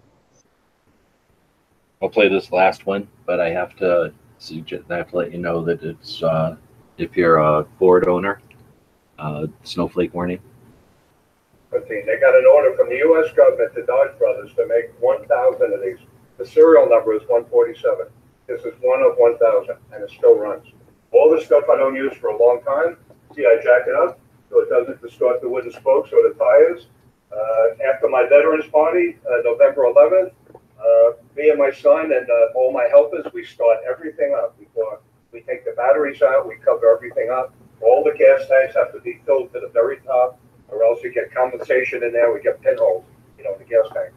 So they didn't have a, uh fuel pump back then, so the gas tanks had to be higher than the carburetor. There was no batteries, so they had to crank it. See the crank in the front, and this is what one of the first Dodge motors looked like. It's only 28 horsepower. And they have magnetos. Those are primers on the top. You prime it with gas, close the butterfly. It'll create compression. Hit the magneto switch, and they start. Uh, every year, four or five cranks, and the thing starts right up. If it was a Ford, it wouldn't have lasted this long. But uh, it doesn't have any uh, juice brakes or anything. It's got mechanical brakes on the back, and the big brake shoes they squeeze the brake drum instead of expanding. Yeah. Okay, this flag here, it's got 45 stars. The 45th state is Utah, Colorado 38. There's Colorado 38 stars. That was made. Uh, that's 121 years old. It was made 1897. 121 years old. All these flags, almost all these old flags, I get from other museums around the United States that are going out of business. You ever see a 13 star flag? South Carolina, right there. 13 stars. There you go, Night Strike. All six of those flags there came from a uh, museum. All in right. They told me those flags been behind glass for over 50 years. Yeah. I have over 4,000 flags in the museum and over 5,000 helmets. Made in 1917. They got an order from the U.S. That's a little taste of Dragon Man and the audio, and uh, yeah, like you say, there's different rooms, that, but they're all kind of that big. You get kind of that auditorium sound, but uh, not a lot of echo.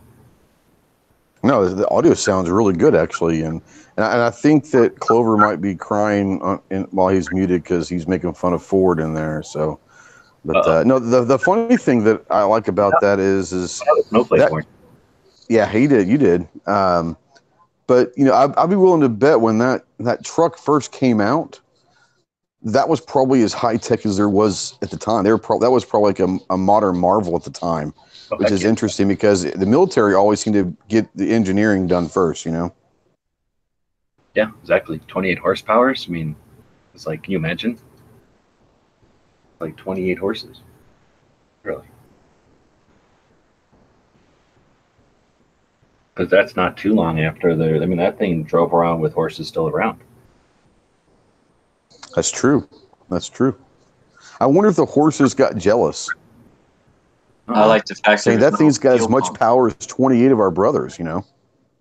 I like the fact there is no fuel pump, not even a mechanical fuel pump, so they just had to have the gas tank higher than the engine. Yeah, the fact that he people said all he does is prime it up. Like that in war, though? I don't know if I like that idea in a war. No. Well, yeah, not in war, but I just think that's like neat that they, you know, they didn't even have like a mechanical fuel pump, so they were just, oh, we'll just. Can you imagine how many people probably stalled those trucks on super steep hills if the gas tank was low? Yeah, good point. Oh, yeah. And the fact that all it does is take four or five cranks and it starts up. I mean, all these years, 100 years later, you know, is- that's that's amazing to me. I like that how he talks. Uh, you have showed it before about some. There's still companies making stuff like mil- actual military reproduction tires for those old vehicles for collectors and stuff. And there's companies that, that you know, there's capitalism at work. You know, people making money by making reproduction stuff that's a hundred years old or more.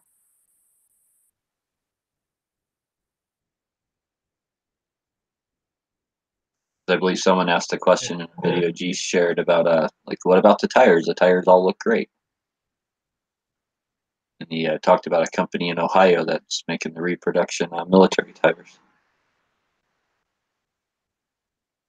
Yeah, I came across a YouTube video the other day of a guy's company who he goes and makes uh, reproduction wheels for you know either reproduction Civil War cannons or you know uh, you know original, he he makes original wheels for original Civil War cannons that need wheels. It was a really interesting video.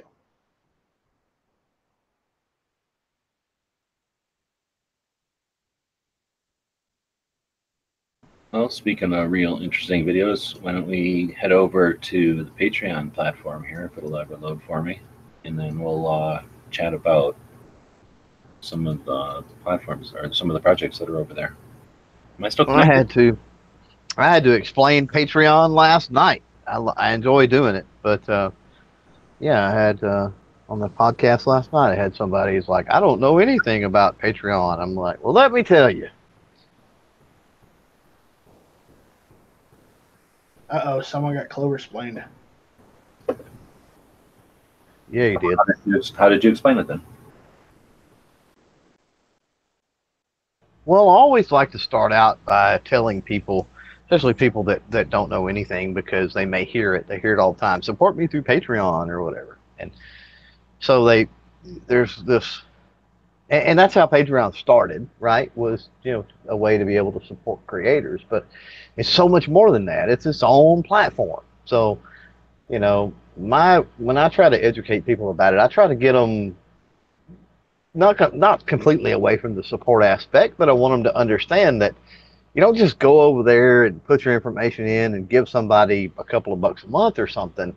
You know, it's a platform where you can follow and engage and be entertained and informed and all of that good stuff, and and all of that happen on a concise level because you are supporting, you know, or if you are supporting rather over there because you don't have to support. You can follow people, and as long as they put public content up, you're able to see that.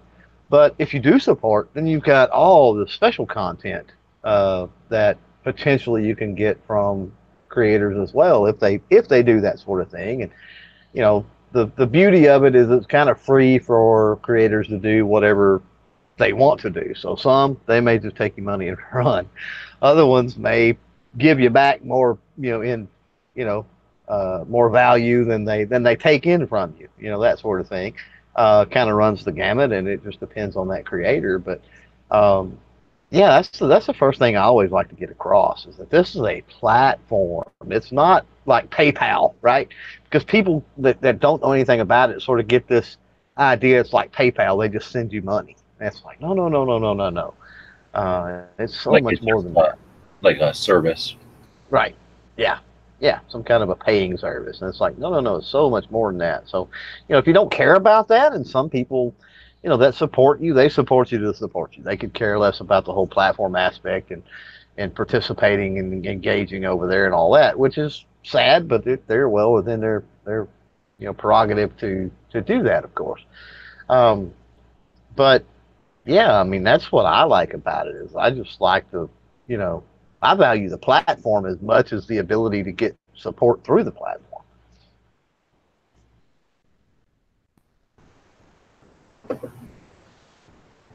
Well, I don't know if anyone else wants to say anything about it, but um, man, that's true. Um, but there's, I mean, I'm not. But it's all valid. Um, I'm gonna dig down into mine here, and at the bottom right is where they post now. You can't change this. You can't put it anywhere else. It's down at the bottom right. Uh, the projects that if you're if you go to someone's overview page and they're supporting anyone, this is where it'll be displayed. Oh, if they've got that feature turned on, Oh, and that and that's something that um, you know, since you're talking about that, I'll throw my two cents out there. If you are a creator, turn that on. For the love of God, turn that on and show that you're a part of the community, right? You're you're part of the bigger bigger world. Um, because I think that's a, an, that's an added value, it's an added plus in so many ways. Because just like G Webs right now is fixing to walk through this list, I'm assuming, and had he not have it turned on and be showing people, then I mean, you never know. I mean, certain people may find you may find a channel through somebody else's channel, that sort of thing. So it's it's great for cross promotion. Yeah, and you don't have to financially support anybody to follow them either. So you can follow channels. I don't know if it displays your followed ones, but uh, you can you find them up here under posts from the creators you follow or whatever, and uh, you can follow their posts or whatever. So like Clover said, it's a platform more than a service, and it, it, is like YouTube. You know, it can be a function to put your videos on, and you could be focused on podcasting and you know you could be using the youtube as a tool and not focused on the you know the subscriber base on youtube plenty of projects plenty of successful projects that do that. Uh, so there's plenty of people that use it just as a function you know just a system to uh, allow subscription service. Uh, but you're not limited by that by any means. Same as youtube you know you have tabs on YouTube that lots of people don't bother with the community tab and and the channels that you follow. And again, you can show your support for channels and you can uh, establish um, links to channels like Clover said, so that someone who's browsing your page and appreciates what you're doing can see what influences and what you support. Um, so there's people that use the platforms that way, that explore the platforms. And as someone who comes over to a Patreon, that's someone who understands that they're as a capitalist, their wallet is a weapon, and they're deciding because they've either experienced it or they're about to. You know, they're they're decide just uh, deciding uh, to support things financially, potentially. So again, if you're using the platform and you're being creative with it, and you're using the tools that they have, uh, there's polls, there's um, live stuff. Like Clover said, you can hide stuff behind a paywall so that only certain levels of patronage or something can see it. And there's certainly people that go with that strategy. Um, but again, you can if you only did that, then people are only going to be told, here's something that you could see, here's something that you could see. They're not going to really see anything that you're done, just the amount of stuff that you've done. Uh, and again, you can look at somebody who's super successful or an extreme example and get discouraged, or you can look at the amount of people that are using the platform and the growth of the platform and be encouraged. And uh, yeah, I definitely want people to to uh, consider it as a uh, if you're not, or if you're only barely using it to uh, devote some time to it once in a while. so we'll just go through and uh, maybe I'll do it this way. Who all is supporting Matt? Show of hands or whatever. We'll do it that way. See which ones were jointly. I I did for a long time, but I, I've kind of gone to some of the smaller creators, but I did for a long time, yeah. About you. I usually throw. What'd you say, Dennis? I was gonna say, uh, you're talking about just specifically on Patreon supporting Yeah. that. Okay. Yeah, you go with uh, throw people money on PayPal uh, on whatever basis, and uh, just directly to PayPal. Yep. That that and I also throw super chats, even though I know like that's not always a good thing, but sometimes it can be a good thing if you want them to, you know, read a specific comment or something.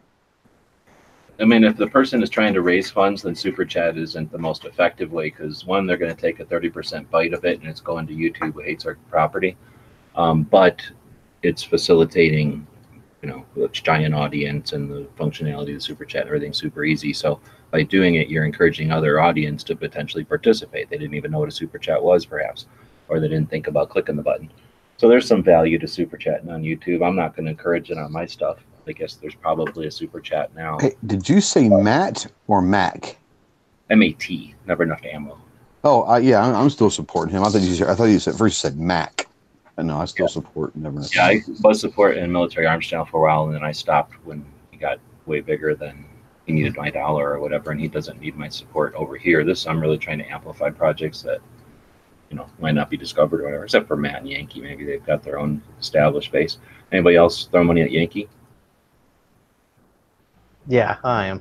You know, he's got the the TMYP project or whatever is all through the Patreon. So, at that. Gun channels is because whenever we were doing the daily gun show, um, everybody wanted to have a separate thing so we could make money on the daily gun show, and then well, that never happened. So I had two Patreons. You can have as many Patreons as you want, by the way. Just log in and log out. You can have as many Patreons as you want. I guess I have three. Uh, I only really use the two. Uh, the other one I think is sitting at like seven dollars, and the gun channels one is like at a hundred. The goal with the gun channels one is to raise enough funds to have a full time person to moderate and he's sort of uh what's the word not a butler but like that person who's sitting in the front of a hotel that kind of knows everything that's going on um to have somebody like that for gun Like channel con- con- concierge. yeah for the gun community so you know at some point we had uh, jim james for a while um you know there's potential people out there that could handle a gig like that so you know it's not something that i'm focusing on but if anybody wants to participate please do and all the funds at this point go to keeping the servers going and that kind of thing uh, the Guru podcast again is just the third one. Uh, Travis, of course, uh, Caliber Corner, and uh, he joins in on lots of live conversations and runs um, hit or miss for Night Strike. We got Clover Tack, who's in the chat right now. We got Ghost, who's in the chat right now. Got Outlaw, and I know he's back and forth, you know, but uh, pretty consistent when he was doing his chats and I know he's He is striving. coming back. Yeah, exactly. You know, he's got He's coming back. He's just busy working a lot. He's getting a lot of hours in. He's busy. Uh, he's going to be getting internet hooked up here in the next couple weeks again. So Then we got Alan Anchor, uh, a, a company, right? So she's not really putting this out there as a way to create income as much as a way to support other projects and uh, member of gun channels and everything, and then uses the Patreon like some other company, well, at least one other company we know of that uh, is there, you know, using the Patreon platform as a way to support projects she values. We got Hosh doing the ham radio project, um, which is you know he touches guns once in a while and he's you know aware of what's going on but uh you know doing that in a whole nother way and if you're looking for some insight on how to uh, i guess you know run the perks or do the, the perk levels and stuff you might have some insight or you might glean something from his setup there uh, gun tube where are you at now 50 bucks Yeah, it's gone down. So I support gun tube on Patreon. Yeah. Wishes for fishing so kick the shit out of it how many posts you got over here let's give them uh I, I need to get more posts and That's just just the it. But I have to have I have to have actually something to post. Unfortunately. Oh, well, every week that goes by, you could be doing an update on what you're trying to do, what you want to get going. But yeah, look around, see what other I'm people. Lots and lots of potential on this place. Uh, Fifty thousand creators, so fifty thousand people with their hand out for e-bagging, and one million suckers come along to Patreon and hand out 150 million dollars a year. All that number is on the internet. You can go verify it. It's 150 million dollars a year is more than 10 million dollars a month. So 50 million pan e e panhandlers stick their hand out so they don't have to work for a living. 50,000 of them sucker 1 million people into dropping 10 million dollars on those 50,000. So Clover has a lot of uh, good ideas for that thing and could probably profit off of it or uh, fund a project with the uh, potential that's there. Uh, Black Gun Matters, Dodge, Maj doing his thing, and uh, he uses this to some extent, but he also uses uh, the GoFundMe. Uh, we've got Kevin, who's uh, again not really using this to its full extent, but um, definitely want to support him. He's boots on the ground. Got James Cleta, one of my favorite podcasts out in New Jersey. Uh, again, not really. I don't think he's doing much with his. And one of our goals is to you know keep these conversations going to give people some insight as to how to you know get more than just me supporting you i guess. So um second is for everyone. Tony simon just posted the uh, cartoon of doing tony's cartoon today. Uh, everybody i think is probably familiar. Tony jumps in on these two a workshops quite a bit. Uh, he's fighting off a cold or something right now. Got gizzard. He's working probably keeping a nuclear reactor from blowing up right now. But uh obviously kicking out content at a totally different level than like the next guy, Ken Blanchard, or what Tony's doing, right? But again, our buck is still supporting him. That same crisp dollar bill that comes out of our wallet and goes into the PayPal comes out on the other end for Gary, right? Uh, got Ken, grandfather of podcasting and, and keeping 2A media going. Um, has a bit of stuff going on on Patreon. I think he's there is also kind of inspiration and mentoring. So uh, always have an invite out for Ken. We got Rick, who was in here a little earlier, wasn't he? And uh, he's got his two podcasts a week that he's kicking out. Uh, Liberty Doll, Midnight Range, Logan, um. I don't know how you say that. You guys know about this guy? Blind dude? yes, one of, one of my favorite YouTube channels. Exactly. I'm actually plugging him because I'm trying to get his ear so I can do an interview with him. But uh, yeah, I think it's neat that he's just kicking out what I find to be interesting videos because he doesn't put a lot of flash and sizzle into it, just down and dirty talking about the gun. And uh, yeah, he's blind, so that adds another level because he's got a whole another level of insight to these things, a level of uh, uh, knowledge of them that other people Oh, yeah. He really seems to know his stuff. I really enjoy that guy's content. And then, of course, Skip Tactical, who's uh, kicking butt in a whole nother way as a female instructor, an active duty Air Force mom, and advocate, right? So, those are some of the people that are using it. And I encourage you to go to my channel and scroll down and, and look at those. Each of those, not all of them are hot rods, they're not all kicking butt. Some of them, like Yankee, are just doing exceptionally well. And uh, learn from each of these and then browse around a little bit. You click this little thingy here and type in gun. See what's out there. You could type in something else you might be interested in. If you're interested in a camera or a computer, or I guess people are interested in other things. Um, but Patreon's not that uh, difficult a pro- platform, right? There's there's lots of things you can do, but there's not all that many building blocks. So there's I think there's a lot of potential to it.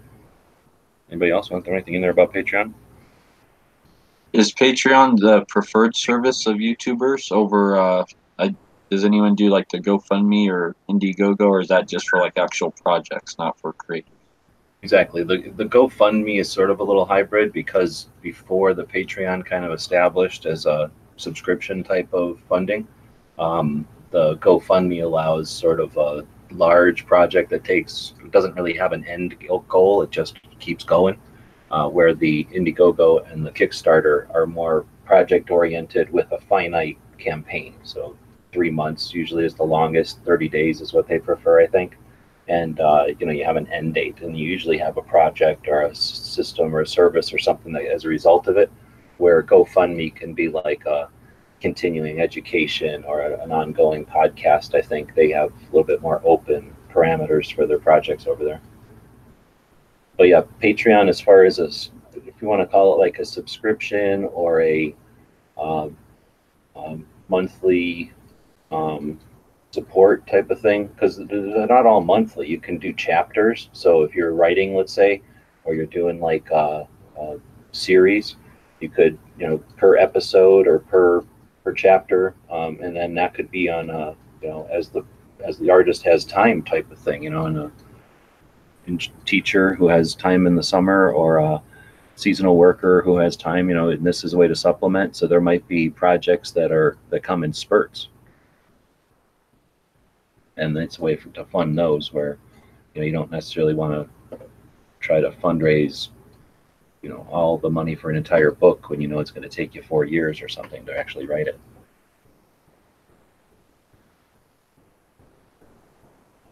That makes sense. All right, so let's see. What are they talking about on the YouTube side over here?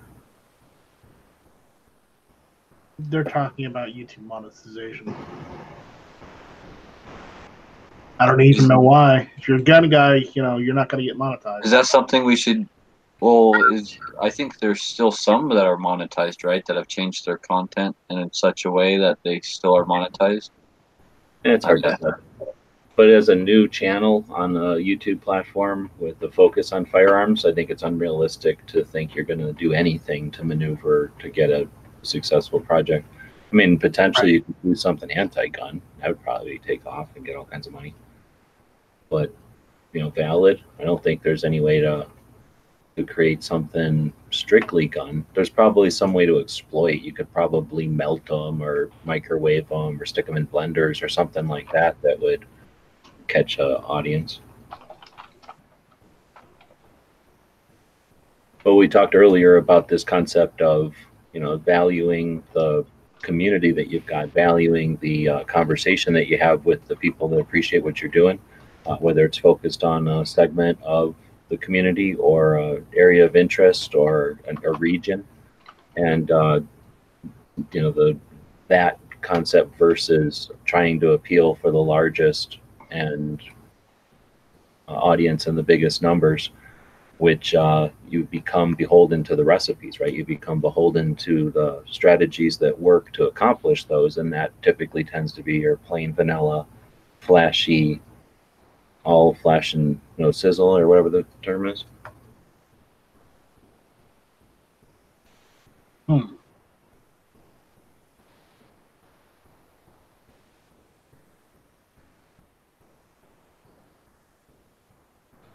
Yep.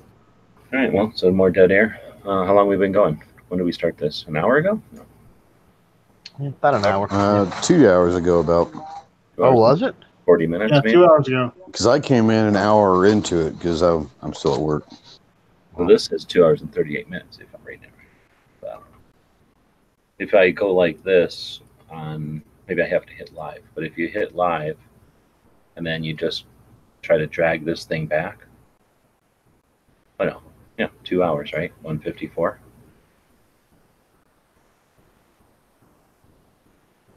That's why I try to figure it out. Because Wow. you, you Doesn't figure seem like doesn't seem like we've been on that long. Yeah, it doesn't. Um, let's see. So the contact, the subjects we were going to talk about today, your gun rights policy conference. Anybody want to say anything else about that one? I really want to go. Yeah, I want to go too. I will go. I'm not sure how at this point, but I will. You got about sixty something days, seventy days, make it happen, and then some of that's travel. Uh, then we got AmmCon coming up the day before, and then we got uh, uh, two A. Well, I didn't do the two A podcast schedule, so I definitely wanted to put Tony in there. I know his podcast come out on Tuesdays, um, and then I was gonna put Liberty Dolls Friday show on there. What other shows? Oh, Skip does a show on Thursdays, right? That would be worth putting on there. She does that on the regular now. Um, Maj does some sort of Monday with Maj, I think. He's always at the same time as Clover on Instagram. Yeah, he corks me on purpose. Do you um post that one, or is that some Patreon one? The Instagram. Uh, which on Instagram? No, that's our that gets posted replay over on YouTube. But I mean the um, live part. If we put it on a live schedule, it's not a Patreon only live session or something. Or on Instagram, so anybody on there can see it, right? hmm Yeah, it stays on Instagram for the 24 hours or whatever, and then by the time the before the 24 hour runs out, I've got a replay of it over on uh, YouTube by then. So it's forever on the internet. Well, I'm talking about the schedule on gun channels, though. Uh, I'm thinking Oh. about putting Oh. more stuff on there than just the things that people post on gun channels, so that Oh. you know, valid stuff can be heard or whatever. If it's on a re- you know schedule, because some stuff just happens when it happens. But Yeah, Anyway, no, it's regular schedule. Yeah, you put a link to the thing, and if someone's on a phone, they can click on that link, and they'd be on your Instagram channel. Or if they're just on a phone, a computer, they can you know say, "Oh, okay, I see. I just pick up my phone and watch it." right. So again, there's Skip on Thursday. There's uh, Liberty on Friday, and uh, Tony on Tuesday, and Maj on Monday. What else is uh, a regular regular podcast? Good Lord, Ghost is Tuesday. Well, stuff we don't already have on the schedule. Oh, stuff we don't already have. Okay. Um, hmm, Yuta doesn't do any kind of podcast, does he? Not that I'm aware of. No. No, Uh, he'll jump on people's, but he doesn't do it himself. Fit and Fire. Fit and Fire does Sunday, and I'm not real sure what other day. Hmm. There's that Places. the trigger guy, and then what about Daily Shooter? Does he do a regular one, or is it just like Jared when he when he does them? Um, recently, last few months, it has not been on a regular basis. That's that's you know. Mhm. So And that's frustrating. So maybe we'll have just a list of regular podcasters that aren't on the schedule. Also, Yeah. Zeke, I don't know if Zeke's on a regular schedule, but he's not on a regular schedule either. I'm supposed to meet him, you know, him tomorrow. Actually, Armed and Feminine. she doesn't do a podcast. She's working on starting one, but she it's not a regular podcast that she does. Okay. I know that the uh, one of the people that uh, hosts the AmmCon, Amanda Suffecool, and her brother do ra- a syndicated radio show.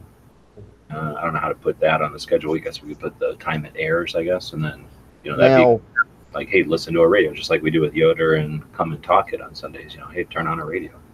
did you mention Ken? Ken Blanchard? No, I totally forgot about his, but yeah, that's another reason I wanted to Yeah. make the schedule expand out because you know it's offering the option to bring it to gun channels is like saying, hey, why don't you support me on Patreon? To some people, it's in one ear out the other, right? Like or value your own Patreon page, same thing, in ear one out the other, right? So um, yeah, if, if gun channels isn't their thing, who cares? It doesn't have to be, right? We can still help promote the show and create some backlinks and again, if someone happens to be browsing or something and they type in Thursday firearms related podcast, if we can help them come up.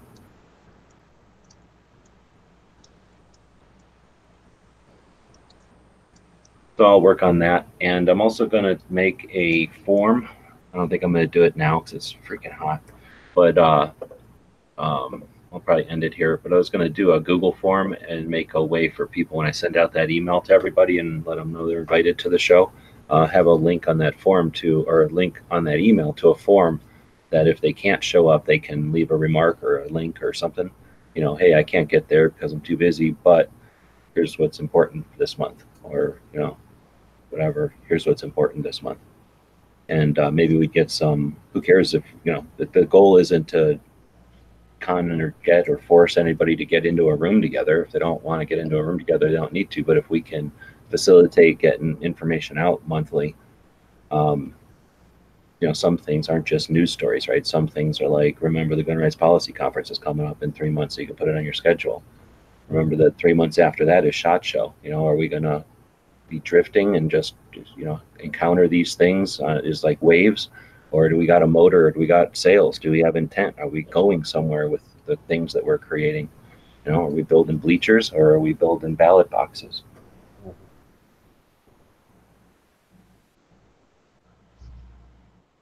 But again, it's getting super hot. Let's see what the temperature is in Tucson.